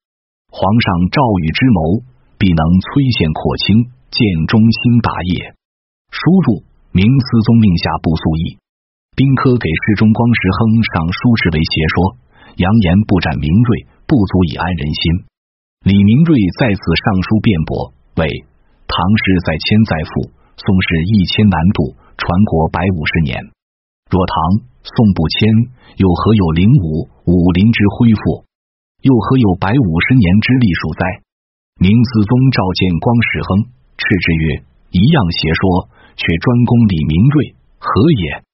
显是朋党。”又曰：“光时亨阻镇南迁，本应处斩，孤饶这造。”二月初七日，李自成统帅的大顺军主力攻占太原，然后经明武、大同。于三月初占领宣府，已从居庸入关，进逼京师。与此同时，刘方亮率领的另一支大顺军，也于二月间从蒲坂渡河，沿黄河北岸向东挺进。北京面临着大顺军的南北夹击，形势越来越危急。二月二十七日，明思宗召集群臣，议战守之策。少詹石祥宇表示支持李邦华的建议，由太子监国南京。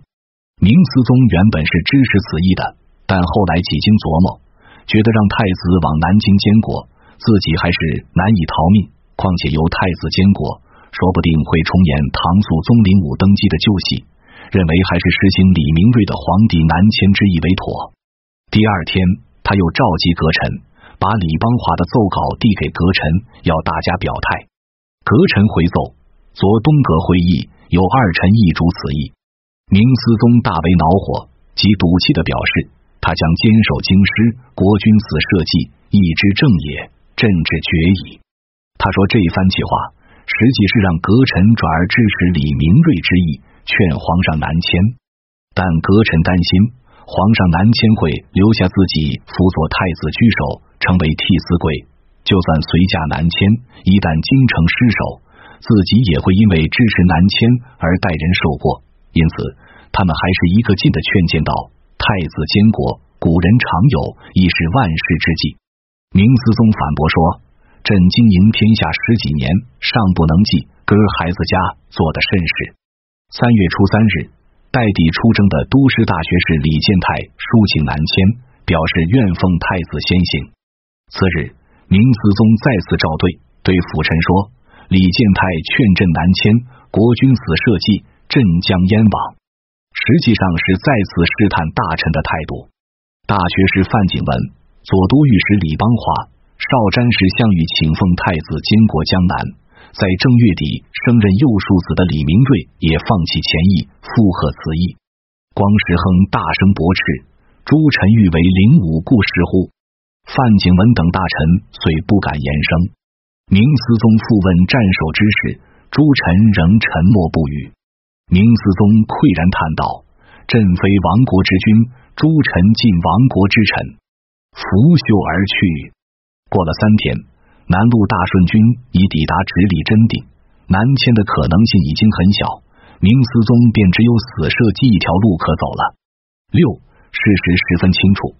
明思宗虽有忠心之志，力图挽狂澜于既倒，但志大才疏，缺乏深远的目光、开阔的视野、高度的智慧、坚强的意志、雄伟的气魄和高超的治国能力，未能认识到明末深刻社会危机的根源所在，找到挽救危局的办法，始终未能制定一个明确具体的治国方略。他的治国理政缺乏长远的战略筹划。只能是头痛医头，脚痛医脚，左右摇摆，举棋不定。他刚愎自用而又多疑善变，急功近利而又优柔寡断，虚荣心强而又缺乏担当精神，专横残暴而又刻薄寡恩的性格特点，往往导致其对军国大事的决策失误、错置失当。他目光短浅，没有认识到阶级矛盾是当时主要的社会矛盾，采取有力的措施加以缓解，而是课于理财、竭泽而渔，导致其进一步激化，使农民起义的烈火越烧越旺。他不变中间，只凭个人的好恶驱舍人才，屡逐直臣，滥杀良将。重用奸佞之臣与宦官，致使局势越搞越糟。他不辨是非，亲自介入门户之争，致使党争持续不断，分散削弱了统治阶级自身的力量。他极为虚荣，只顾自己的颜面和尊严，缺乏担当精神，患得患失，屡屡错失延缓败亡的时机。所有这些重大的决策失误、错置失当，最终酿成了历史的悲剧。导致明王朝的灭亡，因此明思宗便以有别于古来已久以色、以暴虐、以奢侈、以穷兵黩武而亡的另一类亡国之君的形象，定格于史册之中。